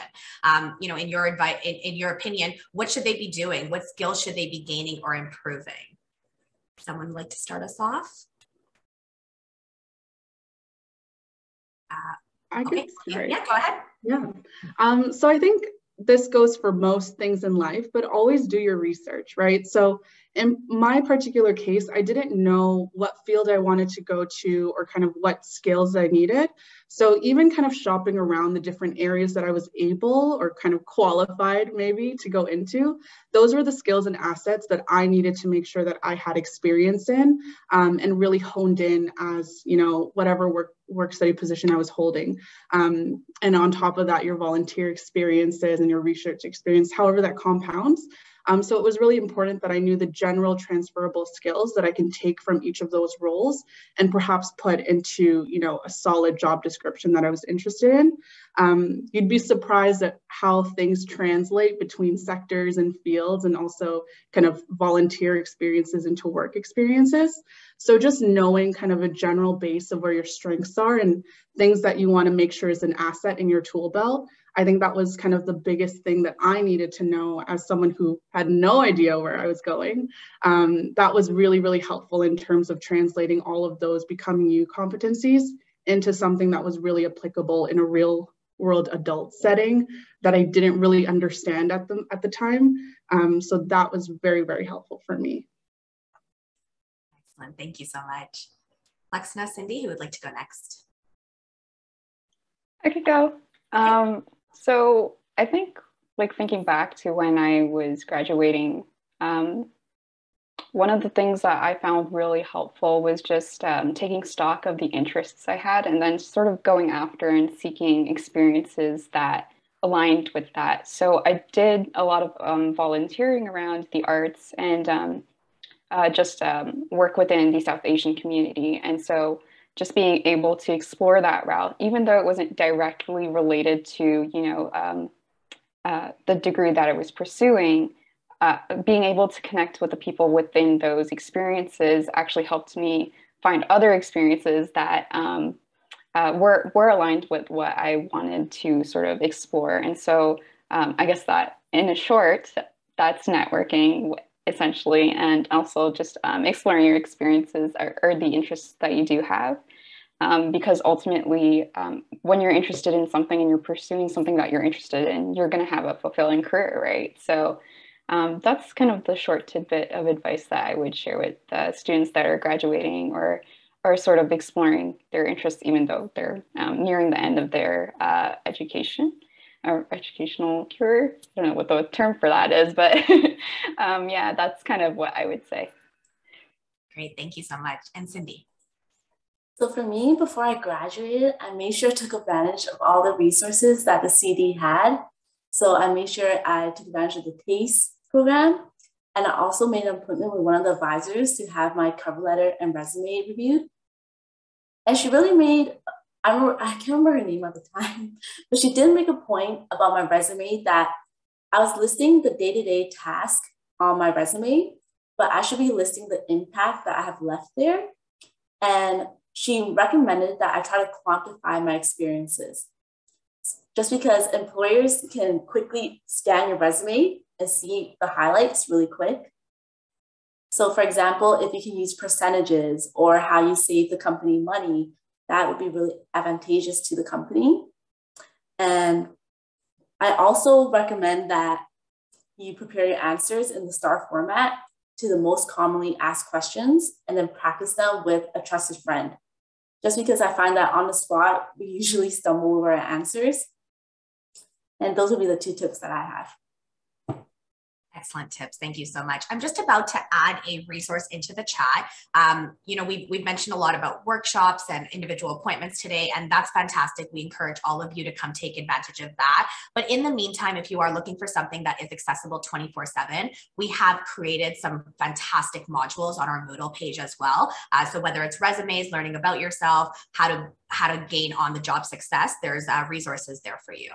Uh, so for our next question, um, I'd like to ask all of you just to provide some um, insights into what experiences proved to be the most beneficial to you when you were landing your first like real job after graduation um, or getting into further education for example. And would you have done anything differently? All right cindy why don't we start with you for this one? Oh sorry cindy your audio is off. There. Thanks serena so mentioned previously, I strongly believe that my work study position helped me land my entry level career. And if I had known about campus jobs earlier in my degree, I think I would have pursued all of them. And even though I didn't become a teacher in the end, I'm still glad that I pursued my degree in education because I find that I would have had the what if thought, like what if I became a teacher? So doing the degree and experiencing placement, it made me it solidified my decision that it wasn't for me. Thank you so much. Althea, did you want to go next?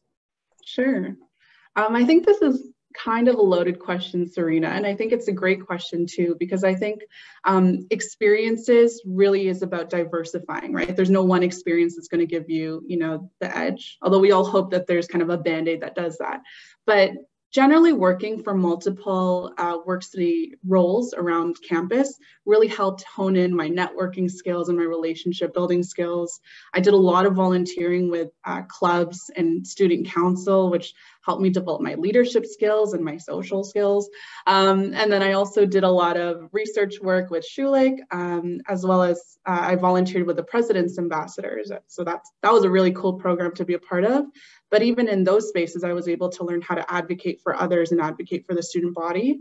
So I think in those roles, um, what was really advantageous about that was I was able to develop a broad um, kind of strategy or skill set that I was able to then apply into those roles. Um, and in terms of kind of what that meant for future leadership roles, so when I became, you know, an executive on council, I was then able to project manage a bunch of portfolios a lot better than I would have, right? I was able to you know, create an event like that. And it was just very kind of minute things that you wouldn't think would build into those pretty hard skills. Um, but then on top of all of those things, you learn how to think a lot critic, um, a lot more critically about kind of the experience of others around you, how to be a better team player. Um, and there's a lot of layers in that, right? And I think that's what helps improve those leadership skills. Um, in terms of what I would have done differently, that's the million dollar question uh, for students like Cindy and Leksha and I. Um, but it's, I think for me, I would have one wish that I'd known that I love education as much as I do now. I was a psych student, right? So I had wished that I would have taken um, advantage of the go abroad opportunities on at York. I think we have so many opportunities and it always seems very daunting to move out and go away and step hugely outside of your comfort zone. So I'm still knocking my boots like, why didn't I do that? Um, and I think it's important that that adds a different layer of perspective, right? That we don't get in a Canadian context. And especially as we go into a more international world and we're seeing that we're doing all these things on Zoom, it's such an important asset as a professional to be able to speak to those different contexts and work with people from not your own geographic region, right? So that's something that I wish I had done. So if you haven't, go to a go to a, a workshop or a session. Sava's gonna put a link in the chat, I'm sure. Um, but that's what I wish I would have done differently. Thank you so much for that. I think that resonates with a lot of people because that's also something that I regret as well. Uh, Lexna. Yeah, that's such a great question um, just to be able to reflect on um, the things that sort of help you get where you are today. Um, I think for me, uh, as I mentioned in a previous question, I was sort of figuring out how to I guess trans- use my transferable skills in different places. And so um, what happened to me after graduation was I was actually I jumped into more free, freelance roles Um, and being able to do those things was allowing me to explore those different skill sets that I wanted to learn more about. Um, so whether it was like web design or graphic design or um, analyzing data, uh, learning how to write better, um, through these different freelancing roles, I was able to further develop the skills that I uh, identified in the Becoming YU program. And so I found that to be uh, really beneficial because now I'm in a role where I'm actually applying all of those different skills that um, I wasn't really boxing myself in to. Um, and like Althea said, uh, what would I have done differently? That's a great question. Um, I think this this goes back to while I was in school. I would have, if I if I had known better, I would have um, taken more um, electives that allowed me to explore those as well uh, just because um, in the fine arts programs, uh, I think there's a tendency to sort of just go into more arts related uh, courses, whereas there was the opportunity for me to explore um, courses in communications or courses um, that are relevant to what I'm doing today. Uh, so that's probably what I would have done differently. Another thing that I kind of wish I'd done, and I'm starting to do now, I guess, is connect with alumni um, that are doing things that I wanted to do uh, back when I was in school, which wasn't too long ago. Um, but uh, I was able to connect with an alumni from my program who was doing something completely different to what she was doing um, while she was in school. And that one conversation, it still sticks with me today. And I'm still in contact with her as well. But just being able to speak to someone who's sort of been through it already um, is like really eye-opening and it sort of reminds you that uh, you're not limited to you know what you think you're limited to um, so yeah. Excellent advice. Thank you so much. Um, we've talked a lot about networking today, even in our employer panel, um, and, and all of you have kind of mentioned the role that networking played in your own journey. So we'd love to hear from you as, you know, all three of you kind of are recent graduates in many ways. Um, so what advice do you have for students when it comes to networking effectively, especially for those students that, um, you know, are nervous about the process, are fearful about the process? Any, any advice would be great just feel free to unmute yourself and just jump in. Um, I can answer that. So uh, I was a really shy, nervous, um, just really anxious student. And um, the thought of reaching out to someone was just so dreadful to me. Um, of course, with the help of my Becoming YU coach, Vaishnavi, she was like, no, you're great. You're you're you're confident. Um, you have a skill set that should be shared with other people. Um, and so when it comes when it came to networking, it was more of a just jump into it and see what happens because you're not really losing anything by telling people what you're really good at or um, offering um, you know the the skill sets that you do have and also learning from them as well um, and once you get started by just connecting with people, even though you might come off as nervous, they might not see that, right? Um, it's uh, being able to present yourself in a way that is open and friendly. It, it's something that takes practice for sure, but once you actually get to it and you connect with people, you're going to realize that we're just people, right? Um, and uh, we, we, we all feel that way in certain um, situations, but uh, it's really about taking that jump and just trying to see um, where you where you land. So, thank you so much. Who would like to go next? I can oh, yeah. go next. Go ahead. Yeah. Thank you.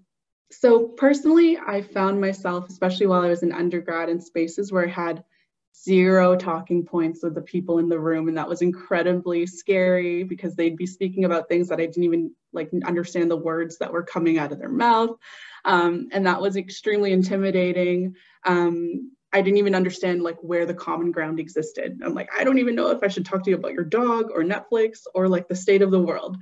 So what I learned to do very quickly was to leverage my knowledge as a student, and as a student leader, um, and show that I had value and that I could add into those types of conversations. And people, especially at York, love to know what you're navigating and how you're navigating it. So if you're able to contribute in a meaningful way, um, you know, and say like, as a student, that was kind of my go-to. As a commuter student, as a first generation student, I had like plugged all of those things.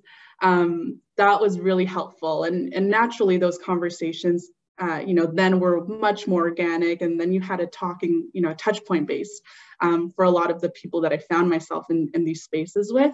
Um, and then if that failed, I'm like, okay, what's the Netflix craze? Or, you know, I have a pet dog, here's my dog. And that was really helpful. But just generally learning how to uh, leverage your own experiences and provide value in that way was really helpful in terms of how to network. So I highly recommend that. Great advice, both of you. Cindy?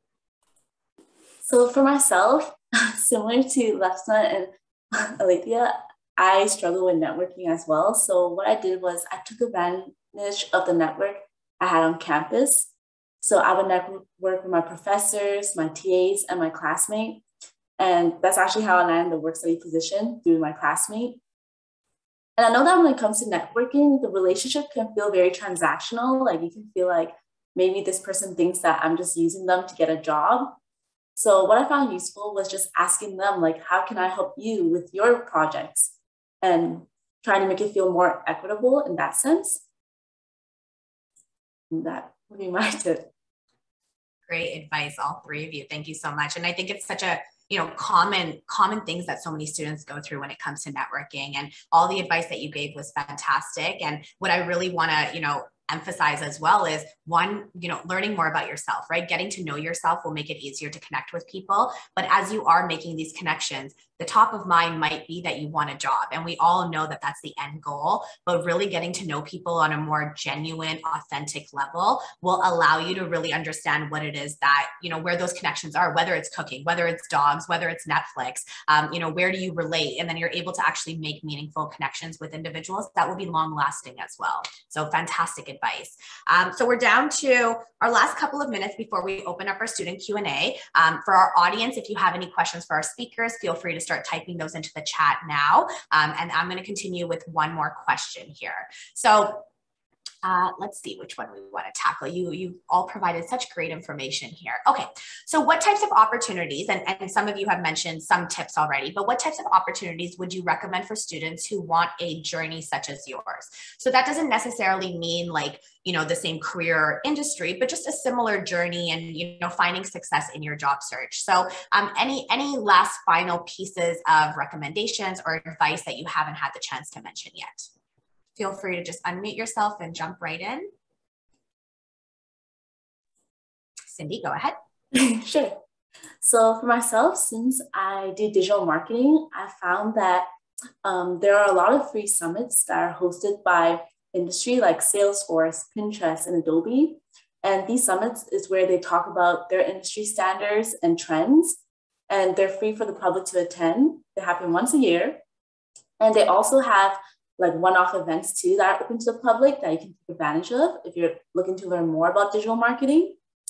And I also recommend that you reach out to your inner circle to offer them social media services if you're looking to ex expand your portfolio. For example, when I was trying to get my feet wet, I reached out to my yoga studio and asked them if I can just create content for free for them.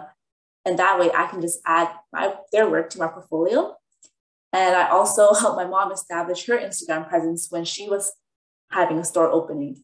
So I would say take advantage of your inner circle, take advantage of the people that are on your campus if you're trying to build more experience.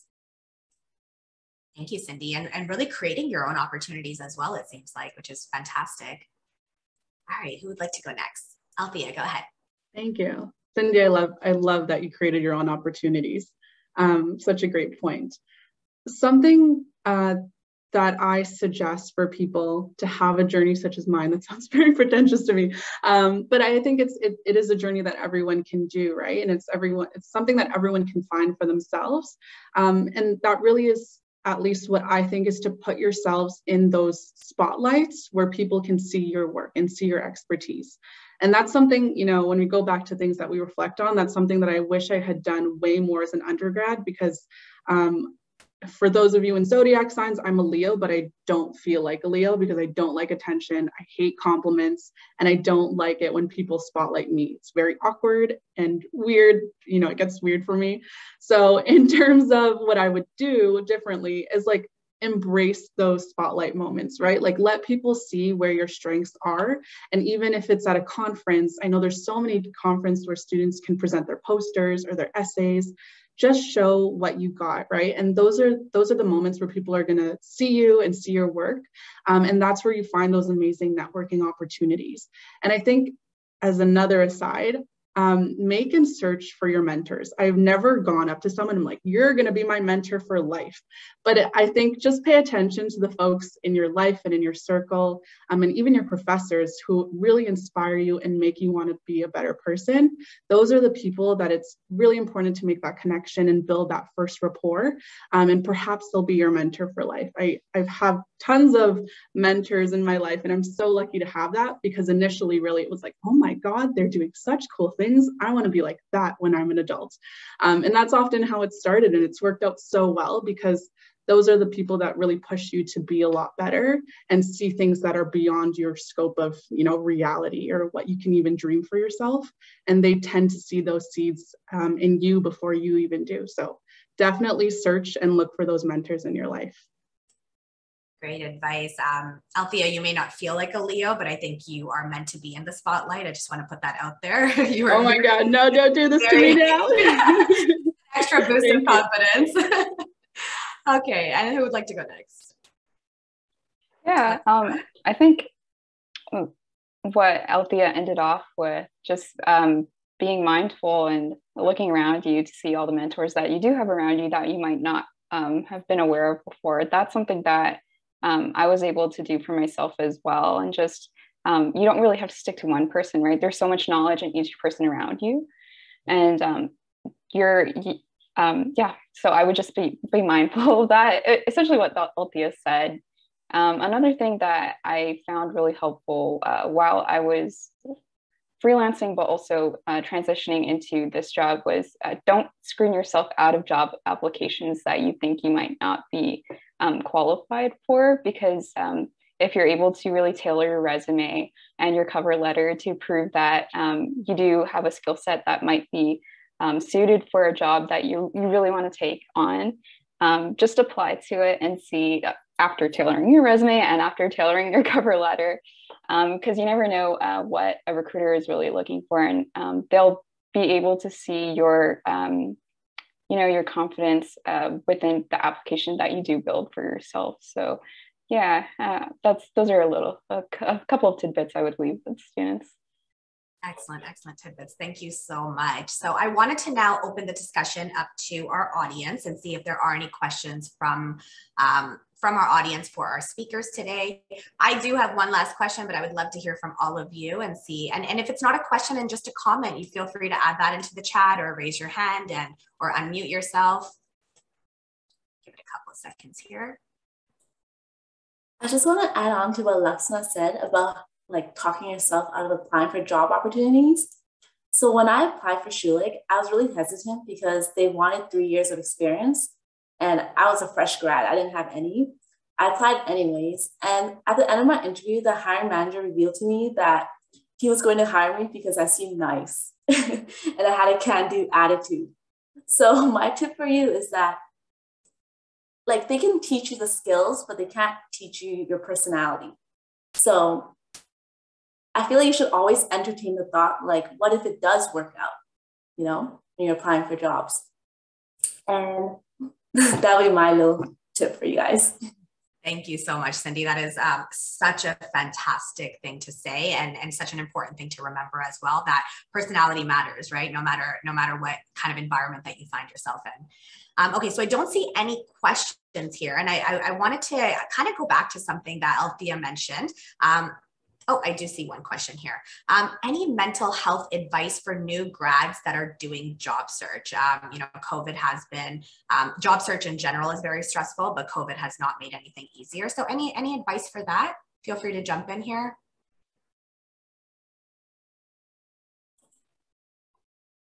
Oh, Cindy, I didn't know if you wanted to go.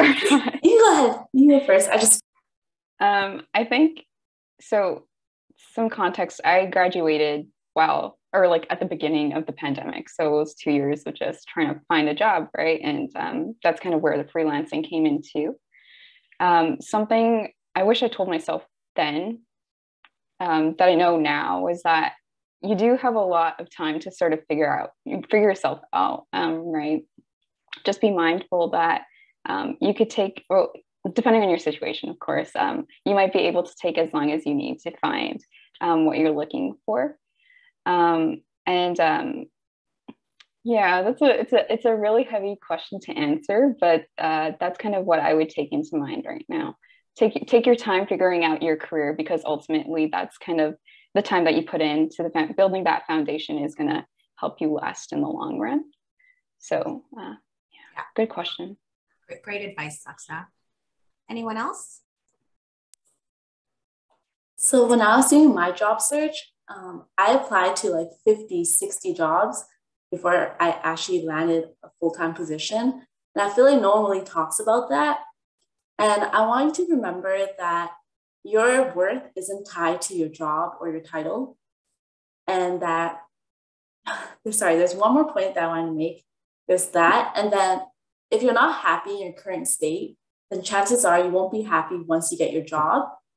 So I would say just embrace the journey, embrace the process. And like, I found that the more jobs I applied to, the better my resume got because I was taking keywords from all these different job postings to make it better.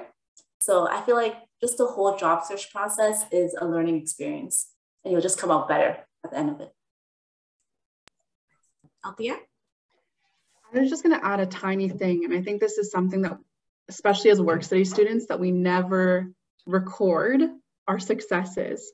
And so, especially when it comes to applying for jobs, everyone knows that model, right? Like, what's the what's the situation, task, and what is your result? What is the tangible um, data, right? And everyone's like, I don't have the data. So if I were, you know, you looking back now, I would have definitely recorded the successes, right? Even if that's something as small as being an executive on a club and your following count increased by 50% over the pandemic. Because let's be real everyone's taking more time on instagram right? So if that's your success no matter how small it seems that success is still a good bullet point for your resume. So make sure that your resumes are as um, data driven I think that's probably the worst way to describe it. Rena's probably cringing right now um, from the CED, but make sure that your resume has as many bullet points that you can really point to your tangible um, outcomes with, because that's something that was really lacking and that you never record and never think to record. So keep those in mind and keep um, tracking them as you go. And I should probably take my own advice because my resume definitely needs help too. Thank you so much. Um, so we have about two minutes left. We do have one more question in the chat here, and I was hoping that each of you can maybe give like a 30 second answer to this. Um, and, and, this is a really real thing for a lot of our job seekers as well. How do you think positively and not get stressed out after many job rejections? I can speak to this. I think I have a pretty good example and if you had asked me two years ago to share this, I never would have. Um, but I applied to grad school, so it's a little bit different. And I had applied to a school that was my absolute dream school. It had everything I wanted in a program, and I, I thought I was highly qualified. Um, and I got super hard rejected, like standard, no, you didn't make it. And I was absolutely devastated. My whole kind of identity just crumbled because everything that I thought that I had worked towards just didn't pan out the way that I wanted to. And I think that's similar, a very similar rejection and kind of identity crisis that you go through when you don't get into a job or a role that you thought you were really good for. So it really took a lot of soul searching to kind of just accept it and move on, but also just where was the lesson there, right? Like, where did I fall short? How can I learn from that rejection? And also, where can I improve, right? Does that mean I have to beef up my volunteer experience or you know maybe i needed just a year or a semester to just refigure out all of my skill sets. And that was really important because especially when you're riding so many highs as a you know as for me i was a super keener. So i was going super super high and i really needed that reality check to bring me back down to earth in terms of what does the real world look like and how do i adapt and bounce back and become better um, in those situations because those points can really make or break your confidence in yourself and it's important that you kind of tune back in and reassess where where things went wrong Excellent points. Um, I'm also not taking credit for what I added into the chat. I heard a speaker say this at a panel a couple of months ago, and it was just fantastic. But I th think that it really, um, it really relates to you know work study positions and Becoming YU as well. Any other points there before we end off our session today? Lexna, Cindy, yeah, go ahead. So for me, I just saw every rejection as like a redirection, and that I was being protected from something that wasn't meant for me.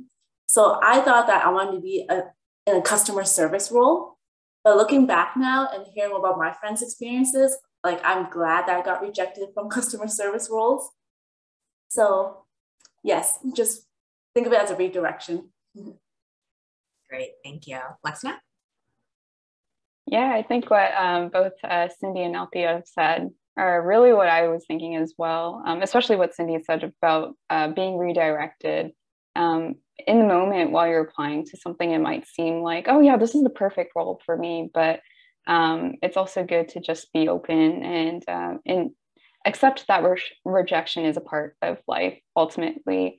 Um, and also the feelings that come with it are something that it, it might be something that you want to avoid, but it's also important to um, accept those feelings as well and let it sit with you um, and uh, just let it come and go, let it pass. Uh, and then again, how Althea mentioned that um, uh, start from where you are and see um, uh, how you can improve upon yourself. Um, and it might be also helpful. It's something that I did when I was applying to jobs and also to uh, call for applications when I was a design or a freelance designer.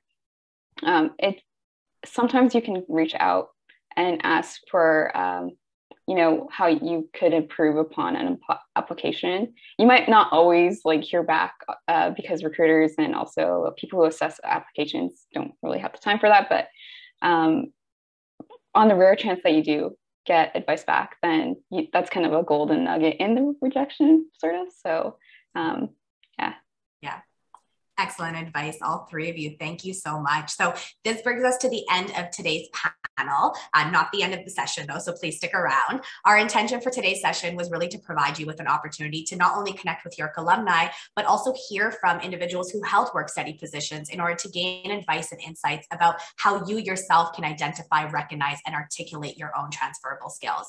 Uh, so we trust that you found this information valuable. And again, if you have any questions about career education development resources, you can always uh, message me directly. If you can please join me in thanking our panelists for being here today. Um, you were amazing. And as I mentioned before, and I want to say this again, we are just so, so, so proud of you. So thank you for allowing us to be part of your journey. Um, and thank you for joining us today. Yvette, back to you. Thank you. Wow, I am incredibly touched by our alum. You are, they are all incredibly bright lights. Whether they're continuing their careers, doing very important roles here at York, and two of them are, or elsewhere, it's very clear that they've made those connections.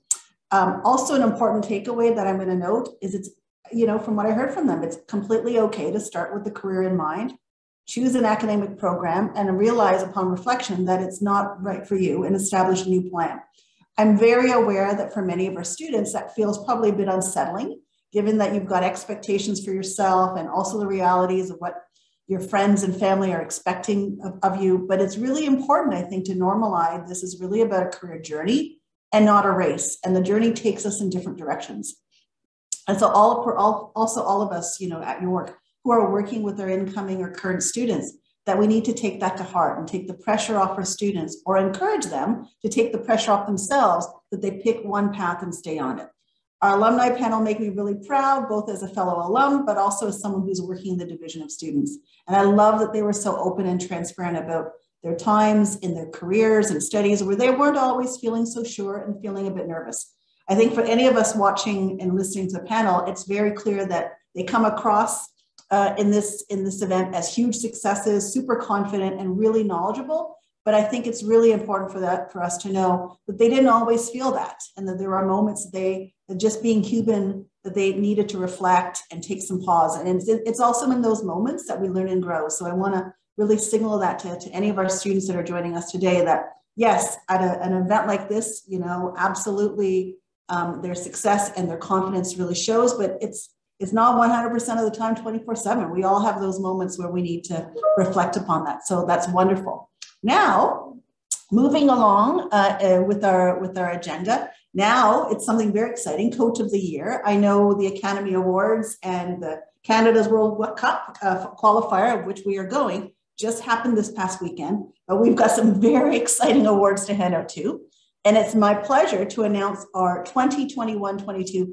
Coach of the Year. And while we don't have a red carpet or a virtual red carpet, our Coach of the Year is always someone who's just as special. I'm told that there are quite a few contenders, but the individual chosen, as we can see on the screen now, ex exemplifies how it, what it means to support work-study experience and combine that with personal growth and the development of work skills. It is my absolute pleasure to recognize our colleague, Tina Ranta, who is the Assistant Director of Wellbeing and Student Counseling, Health and Counseling and Wellbeing. Tina has been described by many in, in, in ways that you can see on the screen as kind and caring and often finding ways to connect work study students with individuals and opportunities and helping all members for team feel valued. I'd like to turn it over to Tina to share a few words and congratulations, Tina. Thank you so much. Um, what an amazing event. I just, and I, I'm just so grateful for this opportunity.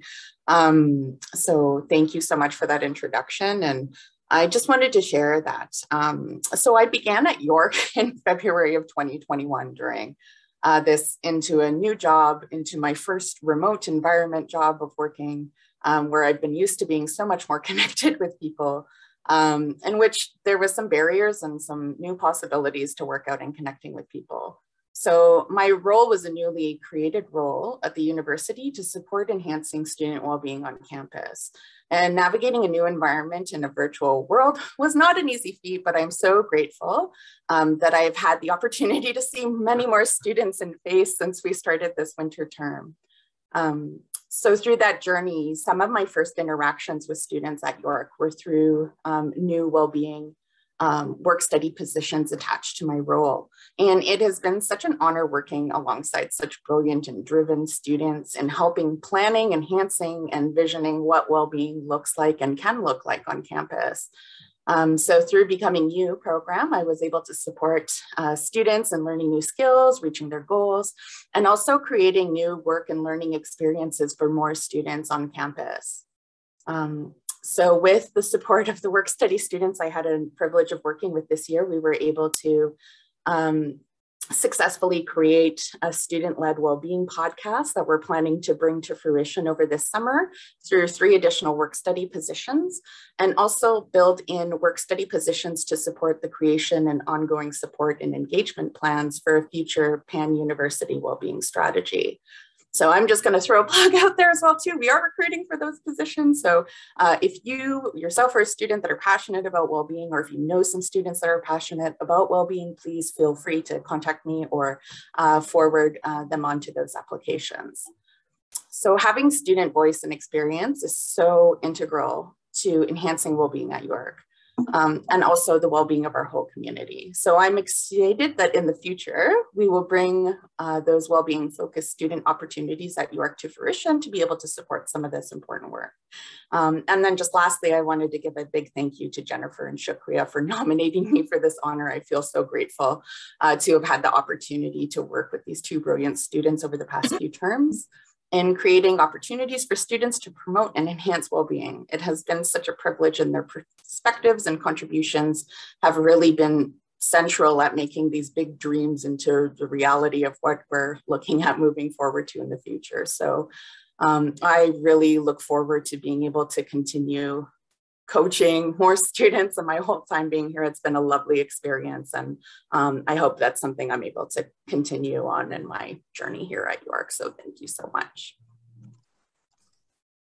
Thank you so much, Tina. And I did not realize that you are a new colleague. So special congratulations. Um, it's, it's like, yeah, what are those awards, you know, where it's like the one to watch or the the um, what's the Grammy Award for you know a, a, new a new artist. So if we had that, that that would be you. And and and congratulations for for stepping into the role, you know, as a new colleague, um, stepping into the role and doing it so well.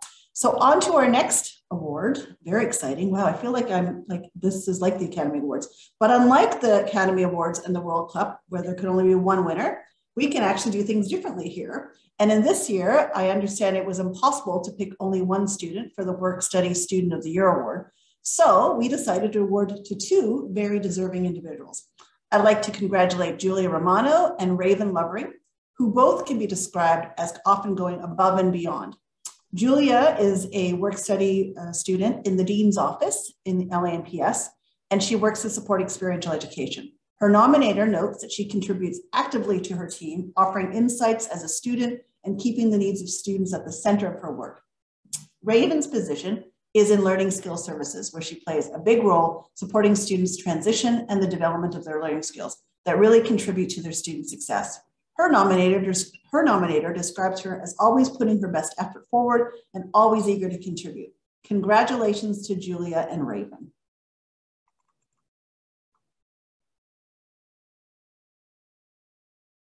we are right on time here. Wow, this so basically this wraps up. Uh, that we've got a couple of honorable mention, mentions as well. Michelle Thomas and Kat, Kat, Katarina Blair, who and also some of the other nominees. So I want to give hats off to our additional honorable uh, mentions. And thank you for all of the folks who put forward nominations. This is really important as well. This, I think, wraps up our event uh, and an exciting year-end celebration. Hats off to our work study students for jobs well done. I also want to thank our campus partners and colleagues here today, especially those of you who played instrumental roles supporting the work study program and our students. All, all of you, along with our students, whether working online or in person where you could, have made really important contributions to York's services and operations, and more importantly, the university as a caring and strong community. Thank you also to Lucy Fromowitz, our Vice Provost students, for her remarks, and for whom this will be her final year-end celebration as she prepares for retirement in a few months. She has been an absolute champion of work integrated learning and for supporting York students with vibrant and enriching learning experiences both in and outside the classrooms. And a final absolute big thank you to the team at the Career Education and Development.